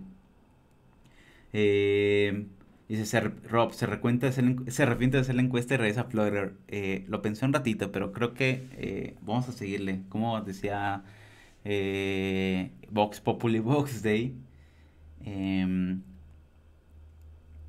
Eh, José Gordillo dice, Google Assistant tiene sus detalles, yo me peleo con los comandos de voz, a veces funciona, a veces no, es muy raro que el mismo comando tenga diferentes resultados. Eh, no sé de Siri, pero también tengo Alexa ya mejor. Creo que depende, también de Alexa he escuchado muy buenas cosas, creo que depende. A mí en lo personal, yo tengo configurado el Voice Match en Google y me funciona bastante bien. Eh, y, y, a mí me gusta mucho. También sé mis amigos que tienen Alexa y también muy cool. Creo que de los que nunca escucho cosas buenas es Siri. O sea, ese sí es objetivamente donde nunca encuentro cosas eh, felices. Eh, Alexa, Google Assistant me parecen muy buenas opciones. Ah, eh, dice, eh, he probado los tres, Alexa da mejor experiencia, pero Google está un poco más completo. Agree. Harrison dice React Navigate. Ah, ok, bueno, lo voy a checar porque estamos hablando hace rato de si había como un un estándar o no, tal vez no estándar, pero como que la comunidad haya dicho, vamos a usar este o la mayoría de la gente va a usar este para navegación en React Native. Entonces, eh, si React Navigate jala, pues lo hacemos. Eh, Gil dice, me salté tu pregunta, a ver, eh, ¿algún recurso que recomiendas acerca de las mejores prácticas al utilizar React con TypeScript? Fíjate que yo aprendí con la vida eh, aprendí TypeScript y React separados. Entonces, de repente fue como irlos unificando poco a poco con algunos conceptos. No creo que haya como algún recurso que diga como, esto es la forma que tienes que hacerlo. Si yo buscara uno, me daría más por Frontend Master porque ellos tienen un curso de React que actualizan cada año muy, muy bueno. Nomás déjame ver si lo tienen. Ya van en la versión 8. Déjame ver si lo tienen. Eh, aquí está, nomás veo si tiene TypeScript. Oh, sí tiene TypeScript. Pero creo que no está tan metido. A ver. A student question regarding if feels link will when... creo que este curso está más enfocado a React solo, más que React con TypeScript. Pero, em, ay, es que lo que yo haría sería como tomar los, como los recursos separados. Hay un curso que me encantó que yo tomé. Déjame ver si lo encuentro, te lo paso ahorita. Eh, es de TypeScript en Egghead. Em, pero déjame ver si, si ahorita lo encuentro y te lo paso. Mm, oh, de hecho ya Egghead tiene muchísimos. Mm, es, creo que es como TypeScript avanzado. Ah, es este. Te lo voy a pasar ahorita. TypeScript avanzado. Aquí está, ya les compartí.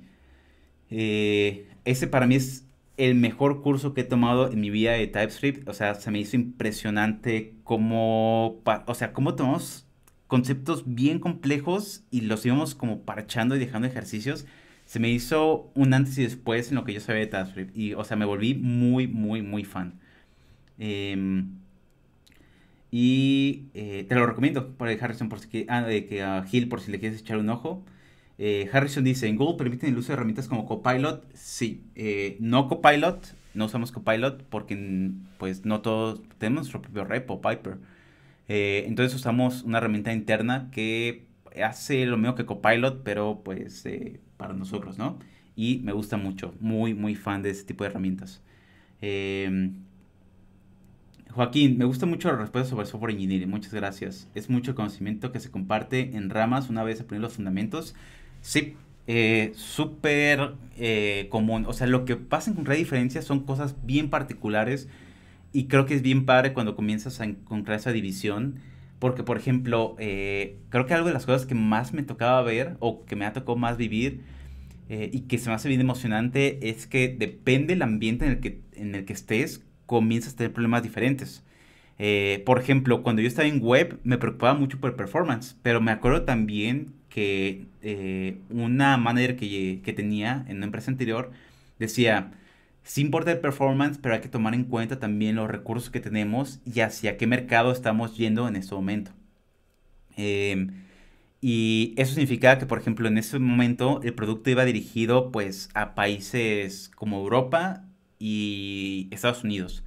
Entonces, la velocidad del internet no era problema, eh, que el bundle fuera grande no era problema, porque la velocidad que tenían era alta, entonces no teníamos el problema de que el bundle creciera y eso bloqueara al usuario, tal vez iba a ser un segundo más de carga.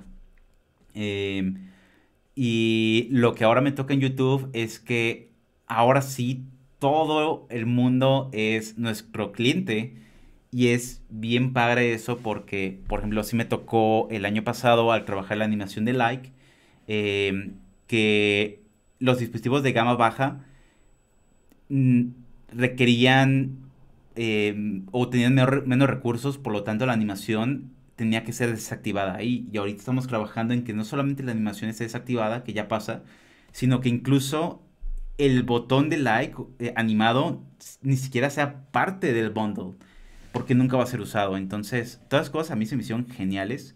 Eh, y lo que quiero decir con esto es que em, los conceptos son iguales o similares. Lo que cambia es cómo vemos nosotros como developers el problema. Aquí nos vamos a preocupar más. Eh, y eso ocurre una vez que entiendes el producto.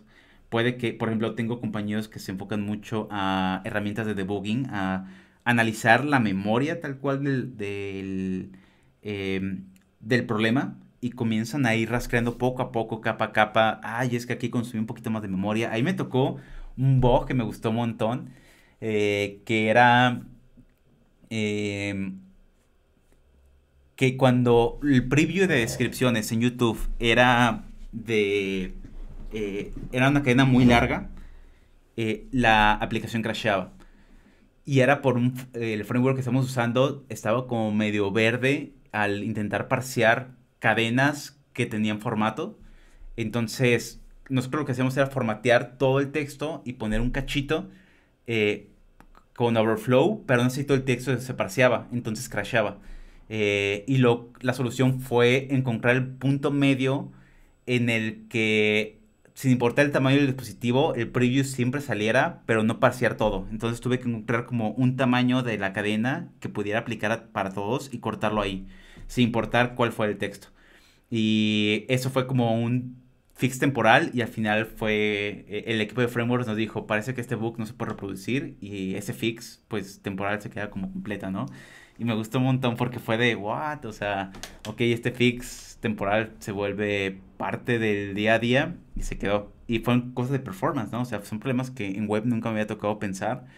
Eh, pero es que en Solares tienes una infinidad de dispositivos y lo que pasa es que el sistema operativo es mucho más estricto, al punto en que si no le gusta algo, mata la app. Y tienes que evitar como developer que eso ocurra porque matar la app sí puede hacer perder a un usuario que se arte y diga ya no quiero usar esta app y buscar alternativas.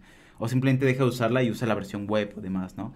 Entonces, son de las cosas que más me encantaron y creo que con esto lo que te quiero decir es que los conceptos son los mismos, la forma de pensar varía, pero creo que es beneficioso y no es malo, te hace más completo porque ese conocimiento lo pasas a otro ambiente y se comienzan como a eh, empalmar, en el sentido de que te haces más abierto a pensar, capaz que eh, en web debería considerar esto porque me ha tocado que en desarrollo móvil eh, pasaba esto con las aplicaciones y sé que esto en ciertos celulares puede afectar.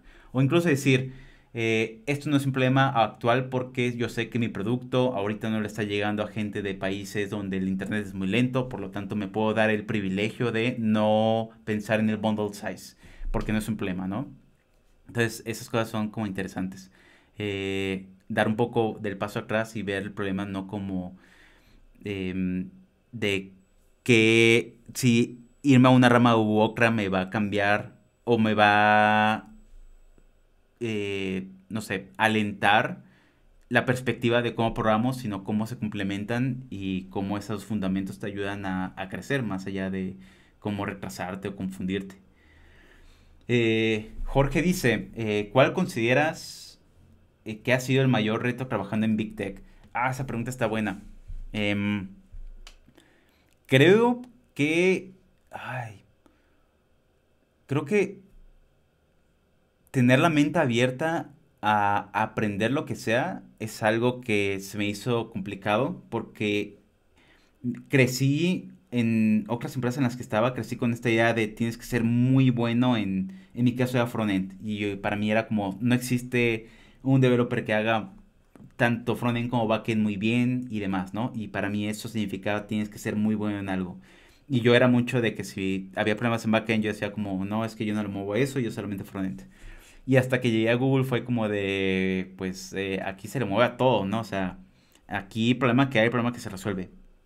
Eh, y obviamente hay un top en el que tu campo de conocimiento eh, está limitado y hay otras personas que saben más. Y el detalle es, ok, ¿cómo, ¿cómo identifico a esas personas que saben más de esta cosa?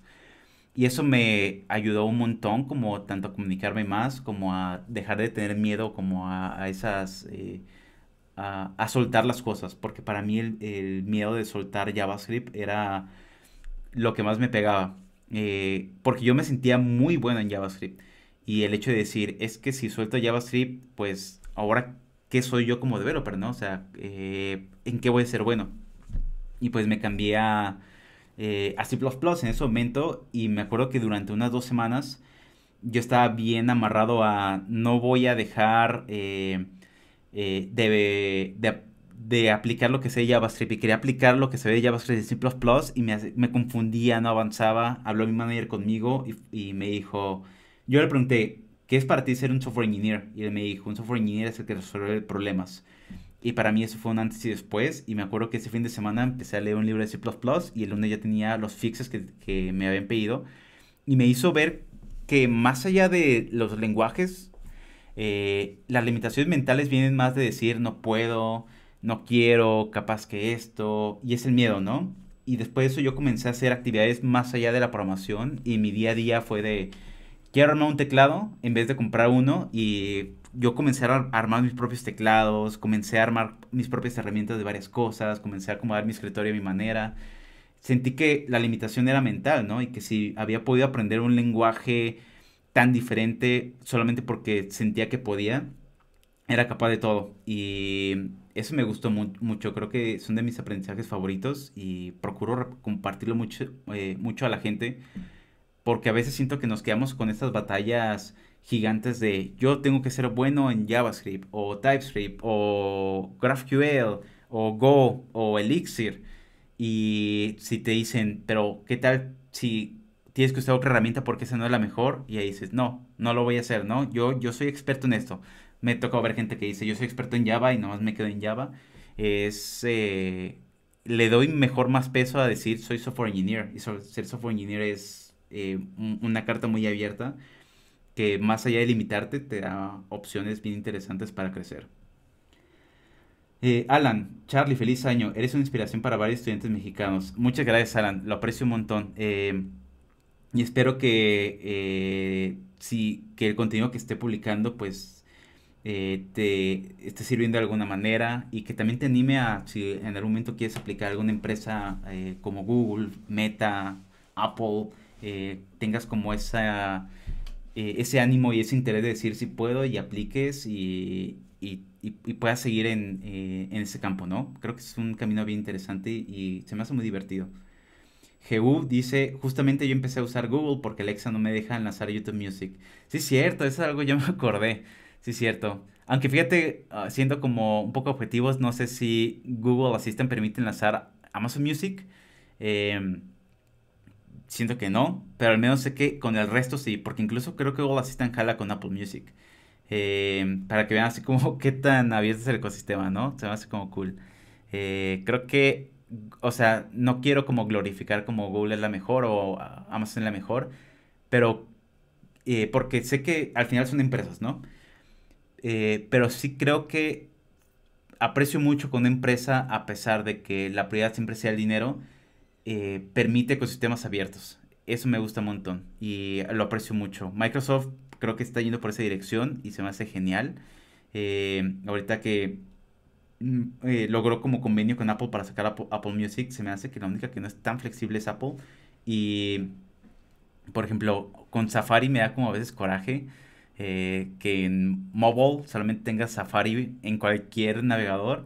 Y lo peor, que una PWA no pueda jalar al 100 solamente, no sé, creo que todos sospechamos porque les va a tumbar el negocio de apps, ¿no? Pero no sé, apoyo más eh, esa mentalidad de decir, eh, si todos ganamos, todos ganamos dinero, ¿no? En vez de querer como atar a la gente a una sola cosa. Eh, Harrison, ¿qué celular recomiendas que no sea Pixel? En Colombia aún no llega. Ay, fíjate que si yo no tuviera el Pixel, me iría de forma objetiva, me iría por un Nothing. Y creo que los Nothing sí los venden en otro lado, lo he visto aquí en México, en Mercado Libre. El Nothing Phone ganó en un montón de, eh, de premios o de competencias, ganó mejor diseño. Y para mí sí es un diseño muy, muy innovador. Me encanta mucho el diseño de los Nothing. Eh, entonces creo que es muy buena opción. Yo me iría por un Nothing. Y no es caro, son 500 dólares, 450 dólares. Entonces dentro de los precios es gama media. Eh, y he escuchado muy buenas cosas. El diseño se me hace muy bonito. Y se hace muy creativo cómo hacen las cosas. Y veo que le meten mucho cuidado. Entonces yo iría por un Nothing. O me iría por un Samsung. Eh, en mi experiencia, trabajando un poco más cercano con Samsung, se me hace una empresa que trabaja bien de cerca con varios, varias apps muy grandes para que tengan como ese soporte al 100 o con las aplicaciones. Eh, por ejemplo, pues escucho muy seguido de Samsung cómo quiere trabajar con nosotros en colaboraciones. Entonces, Samsung eh, tiene mi, atención de cosas bien creativas y de calidad. Eh, Ann dice, ¿tienes acceso a ChatGPT eh, de Google? Ah, creo que no... He escuchado algunas cosas, pero no lo he usado. Me ha tocado escuchar de... Ay, el competidor de... ¿Cómo se llama el que hacía imágenes? Mm, ya no me acuerdo. Mm, no me acuerdo. Había una que hacía como em, imágenes, pero... Dalí, Dalí. Em, y sé que está, pero no... Eh, está como en beta cerrada. Entonces yo no he tenido como ese acceso. Eh, y de ChatGPT no sabía que había uno. Entonces ahí sí me agarraron en sorpresa. Em, ¿Cómo se llama? Es una experiencia... ah, Geu dice, es una experiencia interesante empezar el proyecto React TypeScript y aprender a cabezazos. A mí me gusta mucho. Eh, en su momento me empecé con Flow y luego nos, movimos a TypeScript. Se me hizo genial. O sea, TypeScript para mí es como no puedo volver a un lenguaje que no tenga, bueno, a un JavaScript sin TypeScript porque además de tan flexible, me da tanta como tranquilidad saber tener dirección. Muy cool. Eh, Jesús dice, ¿qué libro de C? Vamos a compartir pantalla. Em, vamos a ver. Kiri. Ah, ¿Dónde está el browser? browser. Y quitamos Kiri. Y me acuerdo, a ver cómo se llama. Ah, ya. Fíjate que se me fue el nombre ahorita. A ver, si pongo C++ book with red cover. Porque me acuerdo que tenía. No. Ah, no, el Tour C. Ah, este es. Tour C lo quiero leer, pero es este. Accelerate C. Ese me hiper encanta. Y según eso va a salir la versión 2. Eh, que creo que te estamos buscando, pero Accelerate C. Está genialísimo ese libro, me ayudó muchísimo. En Second Edition. Me acuerdo que he escuchado rumores de que ya va a salir, ya va a salir. Eh, a ver, en el último mes. Mm, fíjense, no sale como más cosas. Pero bueno, Accelerate C++, libro buenísimo, recomendado. Em, ¿Qué más? Eh, Matías, ¿cómo fue para ti el tema del idioma trabajando en otro país? Ah, fíjate que más allá del inglés, o sea, ya sabía inglés y, me podía defender. El problema no fue el idioma para mí, el problema fueron los conceptos. Eh, y como dejar de ver el idioma, no sé, solamente como palabras de trabajo y comenzar a usar el inglés para el día a día de ir al hospital, cortarme el pelo, sacar una cuenta de banco, todo eso para mí fue una curva de aprendizaje medio pesada. Y sobre todo creo que es súper diferente cuando es, hablas inglés en una junta y luego dejas de hablarlo versus hablarlo todo el día, todo el día escucharlo y demás. Eh, los primeros dos, tres meses me dolía la cabeza, pero de tanto escuchar inglés y como que mi mente hacía la conversión a español y luego yo hablaba, convertía en español en mi cabeza a inglés y lo decía. Entonces, eso se me fue quitando, pero me dolía mucho la cabeza de estar como convirtiendo tan, o sea, el inglés del día a día. El primer día me acuerdo que me cansé mucho la mente porque me dieron un discurso de eh, nuestro, el seguro que tenía en el trabajo y se me hizo así de, ¿qué es este concepto? Y este y este. Y se me hizo, medio a estar como hablando. Pero me acuerdo que el primer día y el segundo estuvo like porque hablaba inglés y luego como light y hablaba inglés y luego lo soltaba. Pero ya en el día a día eh, sí se me hacía pesado. Y escuché a otros amigos que les ha pasado lo mismo. Eh, porque de nuevo no es lo mismo como hablar inglés un ratito y luego hablarlo todo el día y escucharlo de fondo y demás. Yo ahorita estoy acostumbrado y la verdad es que extraño mucho, mucho, mucho cuando no escucho inglés a mi alrededor y ya se me hizo como parte del día a día. Me gusta mucho el inglés eh, de forma, eh, no sé, personal. Eh, Jesús dice, hay mucha diferencia entre el Pixel 6 Pro y el 7 Pro, la diferencia es que el 6... Y fíjate, hay... yo me salté el 6 Pro al 7 Pro. Y creo que el 7 Pro vale mucho la pena porque muchas cosas que salieron mal en el 6 Pro están arregladas en el 7. Y una de esas de los mayores, mayores fallas fue eh, el modem. Eh, era muy común em, que a mí la señal no se me iba, pero no estaba tan fuerte. Siempre tenía como un poquito de rayitas. Y en el 7 eso se super arregló. La batería súper genial. El lector de huellas es un poquito más rápido. Eh, la cámara se me hace muy buena. El Pixel 7 Pro para mí de todos los celulares que he tenido, eh, porque he tenido iPhones, he tenido los Nexus, eh, a mí el iPhone me encanta, pero el Pixel 7 Pro es el primer celular después de mucho, mucho tiempo que me hizo decir como, wow, qué cool está la tecnología actual. Creo que el primer celular que me hizo así como clic eh, de impresionante fue el iPhone 4. Me acuerdo mucho del iPhone 4 con su pantalla retina para mí fue como un antes y después. Luego el iPhone 10, cuando hicieron como eh, la pantalla full screen y todo eso, para mí fue como, wow, qué revolución. Pero creo que después del iPhone 10 es mucha iteración, una y otra y otra.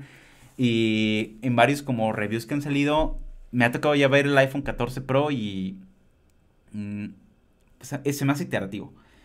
Pero el, el, Pixel 6 Pro se me hizo que, que iba por una dirección bastante cool pero muchas fallas de hardware como que no lo dejaron florecer. Y el Pixel 7 Pro se me hace como un antes y después en la onda de inteligencia artificial.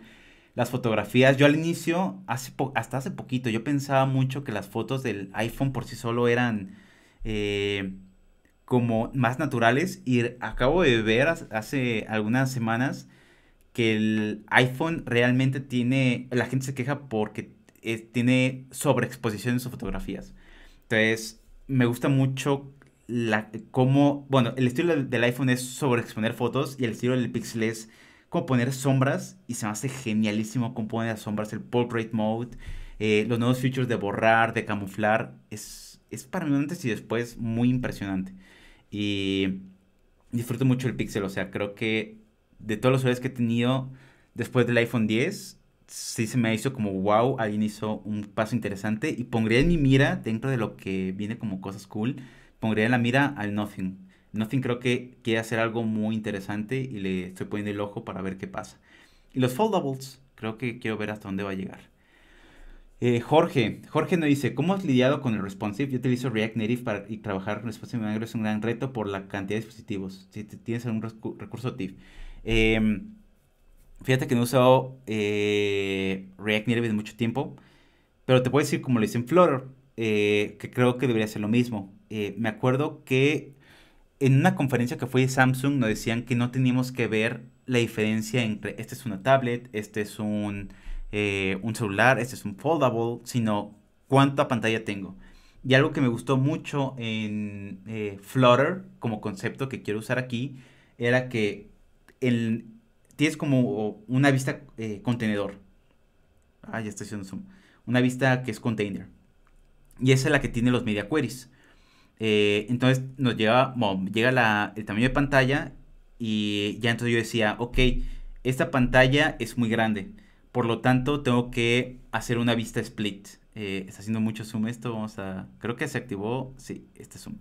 Eh, necesito una vista split. Por lo tanto, voy a, voy a invocar una vista split que sería como un row, eh, donde la primera parte es una lista y la segunda parte es un, eh, la vista de detalles, ¿no?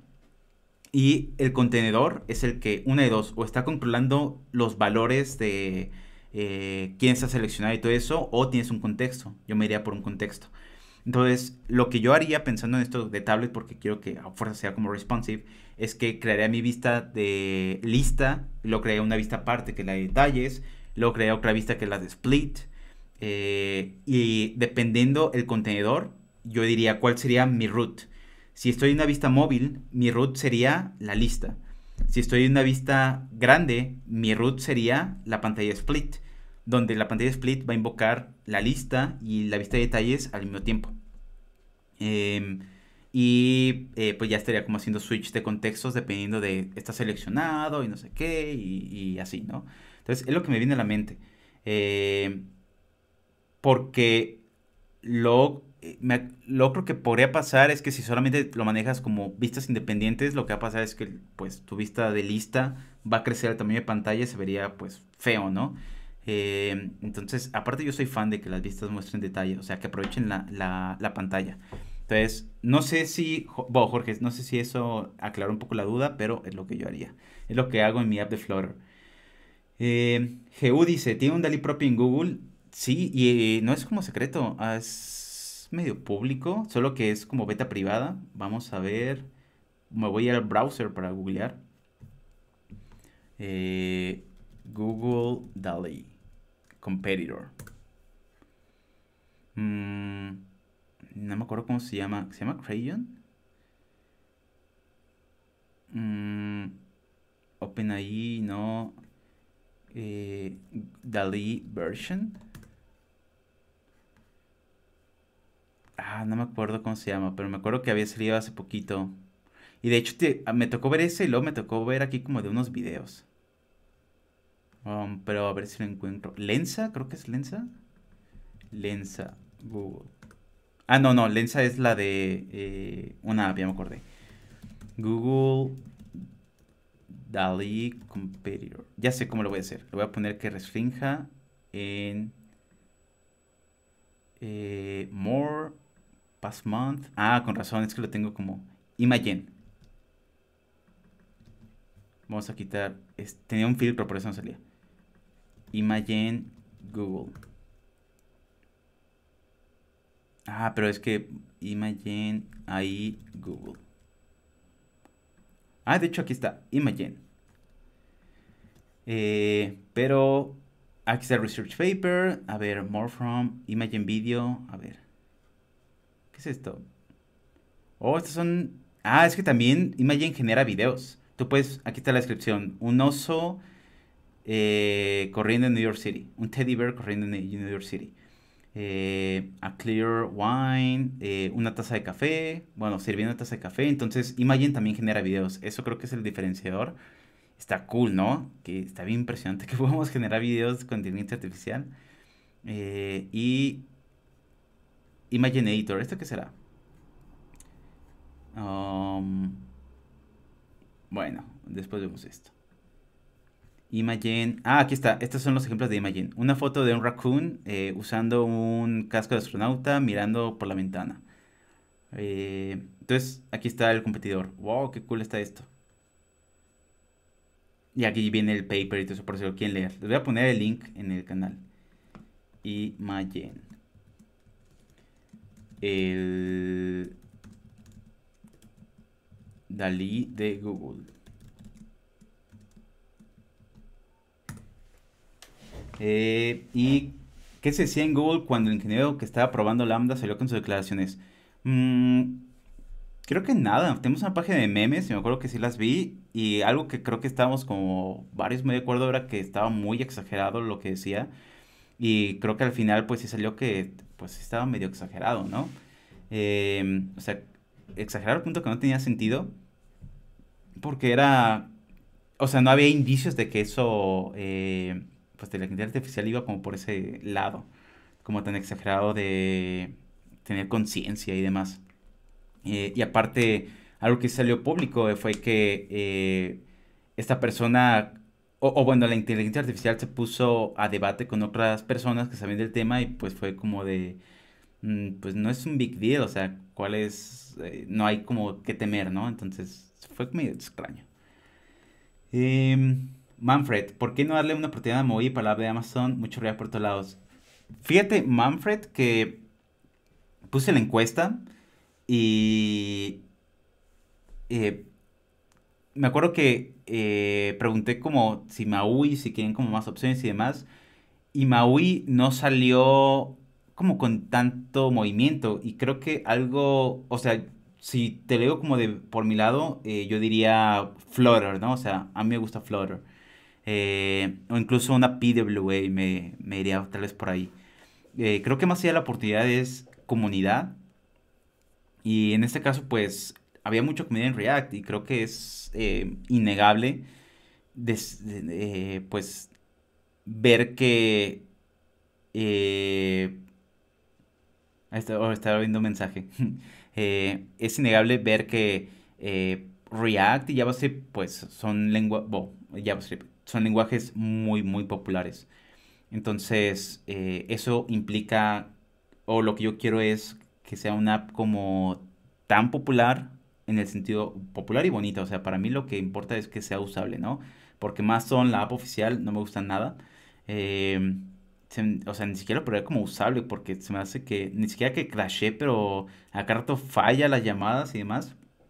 Entonces, lo veo más como cómo hago algo que me haga sentir a mí a gusto. Creo que muchas de las cosas que hago es porque me gusta a mí hacer las cosas.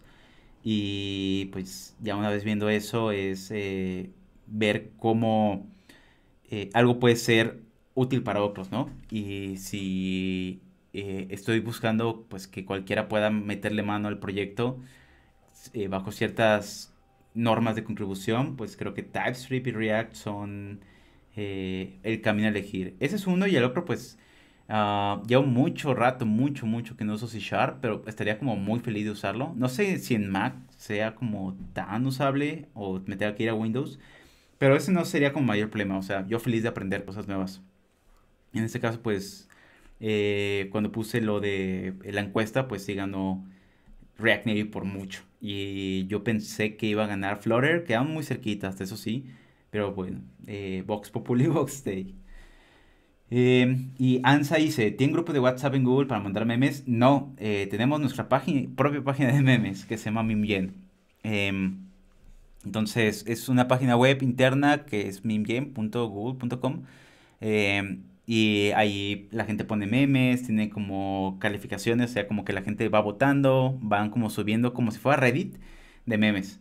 Eh, a mí me encanta porque te enteras como de cosas de Google, eh, chismes, eh, y así, entonces, o cosas que, uno dice, ay, eso estaría cool. Entonces, a mí me encanta, creo que es de mis páginas favoritas y hay muchos memes en torno incluso a usar MemeGen. Y me encanta tanto que creo que toda empresa debería tener una página de memes. O sea, sé que existe Slack, no creo que usamos Google Chat, pero creo que tener una propia página de memes te ayuda a tener como ese archivo memeable, incluso templates para el futuro. Y en Slack, pues se queda ahí vagando en el mundo del, del feed, ¿no? Una página de memes, creo que para mí fue como un antes y después de wow, qué divertido es esto. Y así. Entonces, eh, ya vimos un rato platicando, pero no me gustaría irme sin platicarles un poco del setup de Neobim, que creo que de las cosas que les conté que íbamos a hacer y si quiero cumplir en eso. Eh, pero si tienen más preguntas, pues me las van poniendo. Y primero, lo primero, eh, vamos a platicar un poco de, de, mi conversión de NeoBeam, pero lo que les quería decir primero era eh, que yo uso este, em, esa terminal que se llama Kiri. Vamos a cerrar esto. y Kiri me encanta porque existen, por, ejemplo, opciones como Alacrity, iTerm. Yo no usaría iTerm. Sé que hace hace unos 5 años metieron la opción de usar Metal, ya ven este renderer de Mac, eh, que usa el GPU, pero no puedes usar eh, los, ¿cómo se llaman? Em, las ligaduras, que son estos, que pones una flechita y se arma esto, igual igual sale así, o diferente sale así, diferente, eh, diferente por JavaScript, no sé cuál más podré ver, creo que también si pongo mayor igual, estos símbolos a mí me encantan. Y en eh, item era como, si usas el GPU no puedo usar esto. Alacrity es igual, Kiri sí me permite usar ambas y aparte Kiri se me hace rapidísimo. Entonces clear. Y algo que yo tengo aparte es Timox, que Timox es... Eh, ¿cómo, lo, ¿Cómo lo podemos llamar? Dejen googleo que, cómo podría decir que es Timox es un multiplexer para la terminal, que supongo que multiplexer debe ser como un gestor de ventanas internas de la terminal. ¿Y a qué me refiero con esto? Que si le pongo Tmux para instalación de Tmux, eh, tengo esta como ventanita y luego le pongo como hace split a la derecha y luego split abajo. Ya tengo mis tres terminales. Y luego le doy tab ya tengo como un window. Ahora tengo Mastodon, Mastodon. Vamos CD. Eh, clear. Ya estoy en Charlie's Bot, CD Projects. Y aquí abajo pueden ver que está cambiando ahora projects. Me voy al anterior y aquí está esto. Ya tenemos esta onda. Creo que si doy clic se mueve. Sí, se mueve. Y me gusta mucho eso. Eh, este como split. lo uso mucho para esto, por ejemplo. Que le doy como split a la mitad. Y no sé, aquí le doy como npm run algo. Y mientras está corriendo a la terminal le doy como control slash. Y se esconde y le doy otra vez y aparece aquí abajo. Entonces así como para ocultar la terminal.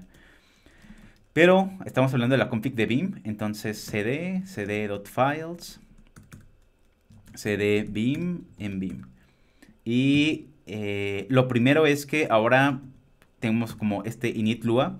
Esto lo saqué de, de PrimeGen y en Lua puedes importar paquetes. Entonces, por ejemplo, dice que requiere Charlie's Bot. Y, por ejemplo, en Lua, aquí está Charlie's Bot. Y tengo init Lua, Packer, Remap, Settings. Init es, lo pueden ver como si fuera como el index de JavaScript.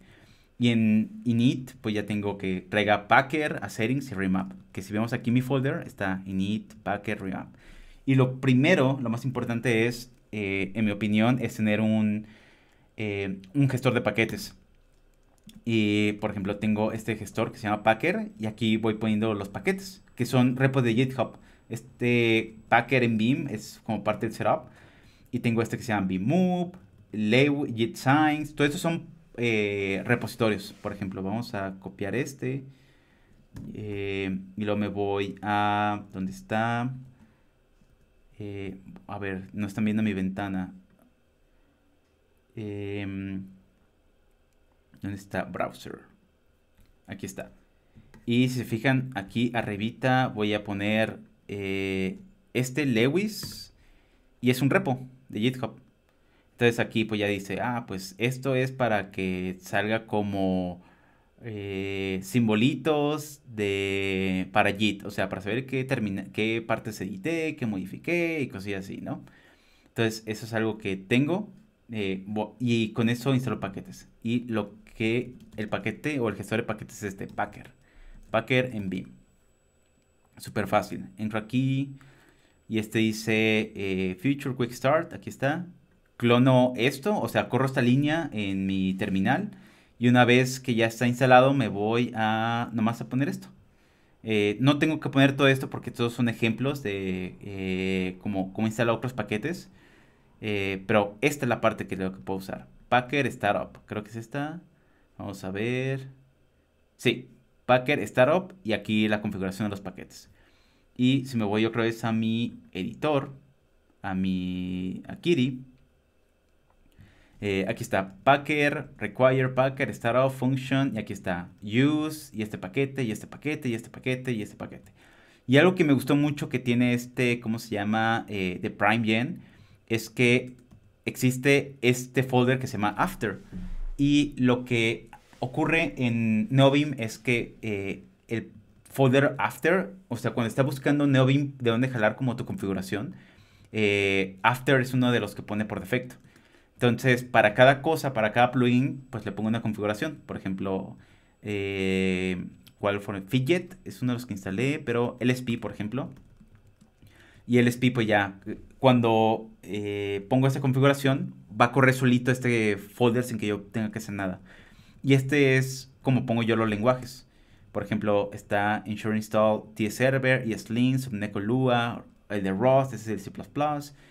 De hecho, algo que me gustaría es el de Dart. Entonces vamos a decir eh, LSP0 Dart. Eh, vamos a ver Neobim. Ah, no, me equivoqué. Neobim. Estoy ahorita en el browser. Ahorita no pasa nada. Nomás déjenme ver Dart. Mm. Dice que hay un servidor que se llama Dart LS. De hecho, algo que quiero ver, por ejemplo, están ahorita viendo mi terminal. Sí, cd RSS app. Este está hecho en Dart. Entonces vamos a ver. Creo que es ah, como Dart, pero es main Dart. Y según yo, aquí no voy a ver autocompletado, no autocompletado, main. De hecho, no me está poniendo nada, nomás lo. Si se fijan, si lo doy main, dice texto y snippet. Eh, ah, de hecho hay un snippet en. A ver, vamos a ver. Oh, qué cool, me gusta ese snippet. Eh, pero no tiene como autocompletado. Entonces vamos a ver cómo... Si es lsp install dart ls. ¿Cómo sé cuál es el de lsp? Vamos a ver. lsp dart. Y ahorita ando googleando, ahorita vuelvo a esto. No más tengo que ver cómo se llama este plugin. Mm. LSP Neobim. LSP config Dart. Ah, ¿cómo sabemos cuáles son el LSP? Pyrite. Ya ni me acuerdo cómo. A ver si, lo vemos. Veo uno que sale en Mason Dart. No, tampoco. Doc. Eh, Lua. No. Mm, ando viendo dónde puedo ver las configuraciones de, instalación de, estas cosas. Pero no veo. Según yo es Dart. A ver, vamos a ver. LSP Dart. Vamos a ver si este dice. No, no está. LSP LSP, install, um, a ver si se acuerdan ustedes cuál es el, creo que no, ¿verdad? A ver, ¿se acuerdan ustedes cuál es el LSP de Dart? LSP Dart, LS. Creo que es Dart. Pero quiero estar súper seguro de esto. Mm. Um, bueno, pues sí. Vamos a decirle Darteles. LSP. LSP install. Install Dartles. Oh, tampoco. ¿Cómo se llama el Dart entonces? A ver, Mason. Um, dot, elixir, emit, flux. Si no, ahorita nos, vamos al browser y nos vamos a googlear, porque a fuerzas alguien eh, eh, está haciendo Flutter en esta cosa. Um, Raku. Tailwind, o sea, si está Tailwind como Language Server Protocol, debe estar eh, Dart. Entonces, les voy a compartir mi ventana del browser para que busquemos juntos esto. Kiri Bye. Em, ¿Cuál será? Este. Entonces vamos a decirle LSP0 Dart. Eh, eh, veo este, esta cosa de eh, Reddit. Um, pero fíjense que no veo sí o sí, a fuerzas tiene que ver. A ver, este dice, ¿es, posible instalar Dart LSP? You may want to rate this. Ah, parece que es parte del ejecutable. Ok, parece bien. Aquí dice esta configuración. Ok, estoy usando y lo logré con esta línea. Ok, Dartles. Entonces vamos a... Ya copié la línea. Nos vemos aquí. Kiri y me voy a NeoBeam.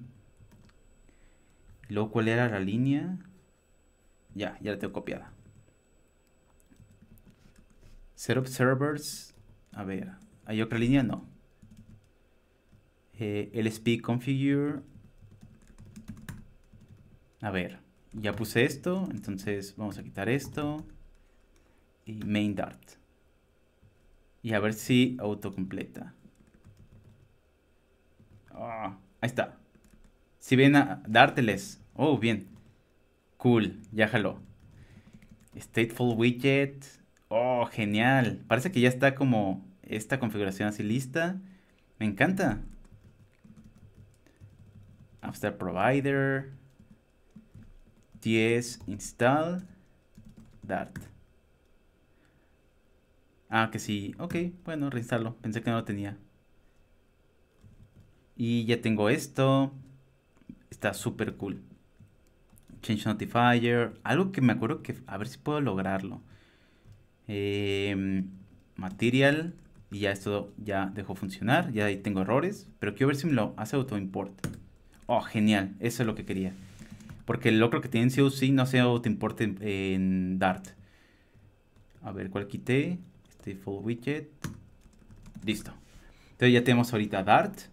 Y pues, si me regreso, aquí tengo eh, mis dot files, los estoy compartiendo en Twitter, pero aquí tengo mi configuración de eh, LSP0. Ah, baja todos los plugins que necesito. Aquí es TypeScript, ESLint, Subneco, CLangD. Ahorita pues ya tengo la, eh, eh, Flutter already has its LSP as part of the framework. No, es para saber por qué lo puse. Eh, esto es eh, para que, para esto, les voy a mostrar. Si por ejemplo, fit key.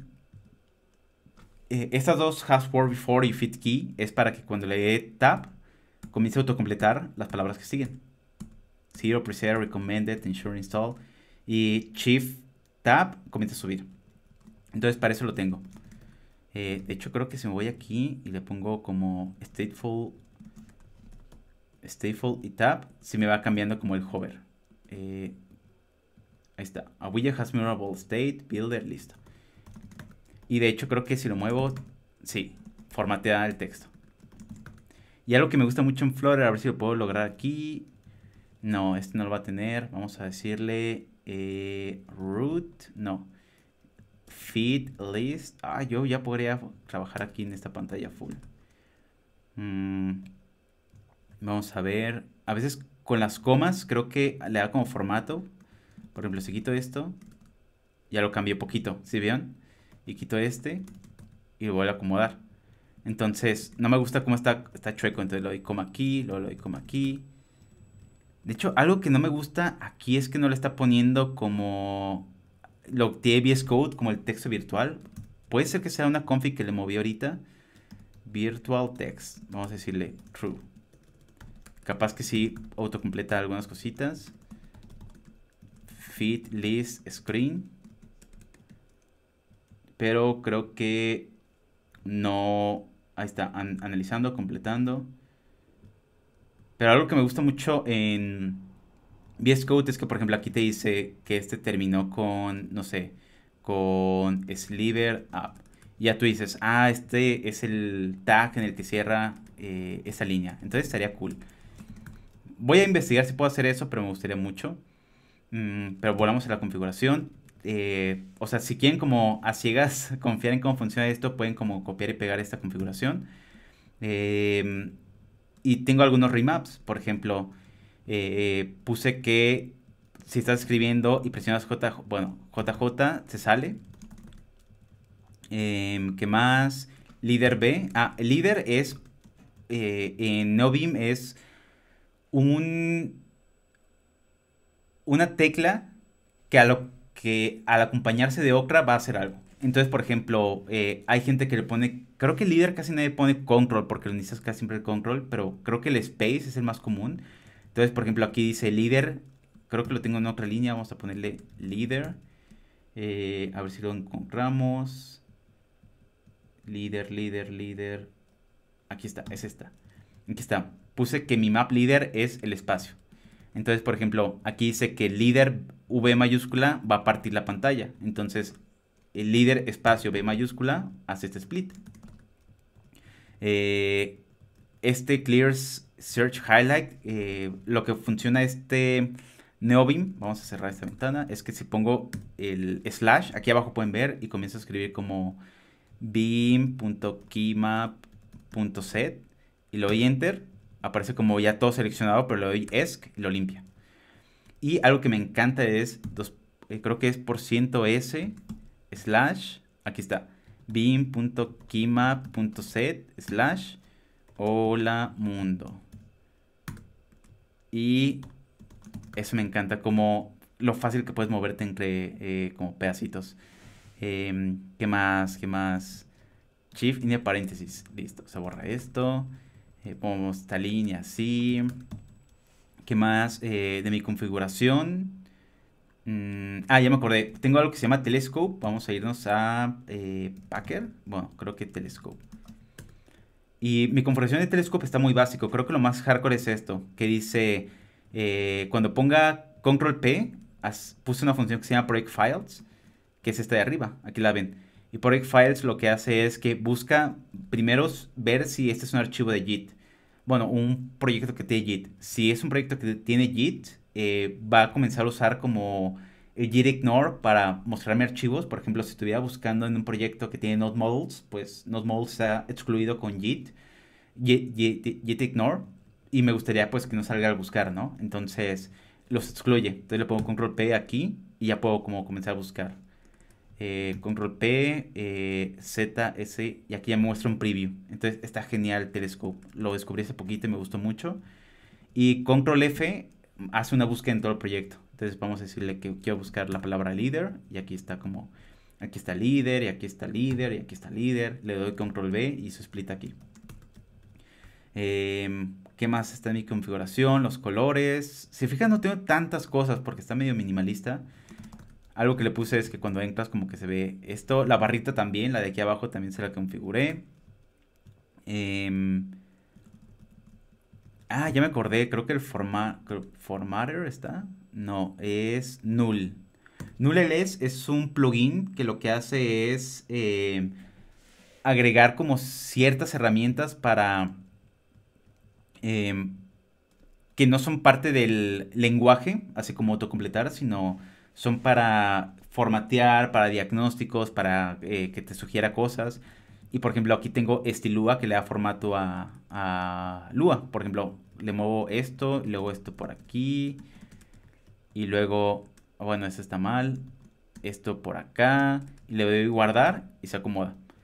Y esta línea pues la quitamos aquí. Eh, o puedo hacerle como que esté por aquí y otra vez. Ah, de hecho se movió. Interesante. Listo, acomodado. O cosa, aquí algo de BIM que me encanta. Visual esto. Y le doy dos puntos sort. Listo, acomodado por orden alfabético. Pero vamos a ver esto. Ah, es que, por ejemplo, completion C, D, F, F. De hecho, me gusta cómo se ve.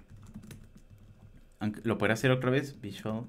No me acuerdo si visual así. Sort. Visual sort. Ahí está. Em, a ver qué más. Vamos a movernos un poco. Ah, estoy leyendo ahorita los mensajes. Eh, Charlie, ¿qué tanto cambio has sentido con los medicamentos para el, eh, para el trastorno de atención e hiperactividad? Me, diagnosticaron ADHD, pero he estado algo escéptico el uso de medicamentos. Fíjate que sí me ha servido muchísimo en lo personal. Em, yo me acuerdo, creo que son varias cosas, tanto el, medicamento como em, las costumbres. Y algo que me pasaba mucho a mí era que me distraía muy fácil y saltaba entre cosas. Y ahorita lo que me pasa más es que como que con el medicamento ya puedo decir, ¿sabes qué? Me tengo que enfocar en X cosa.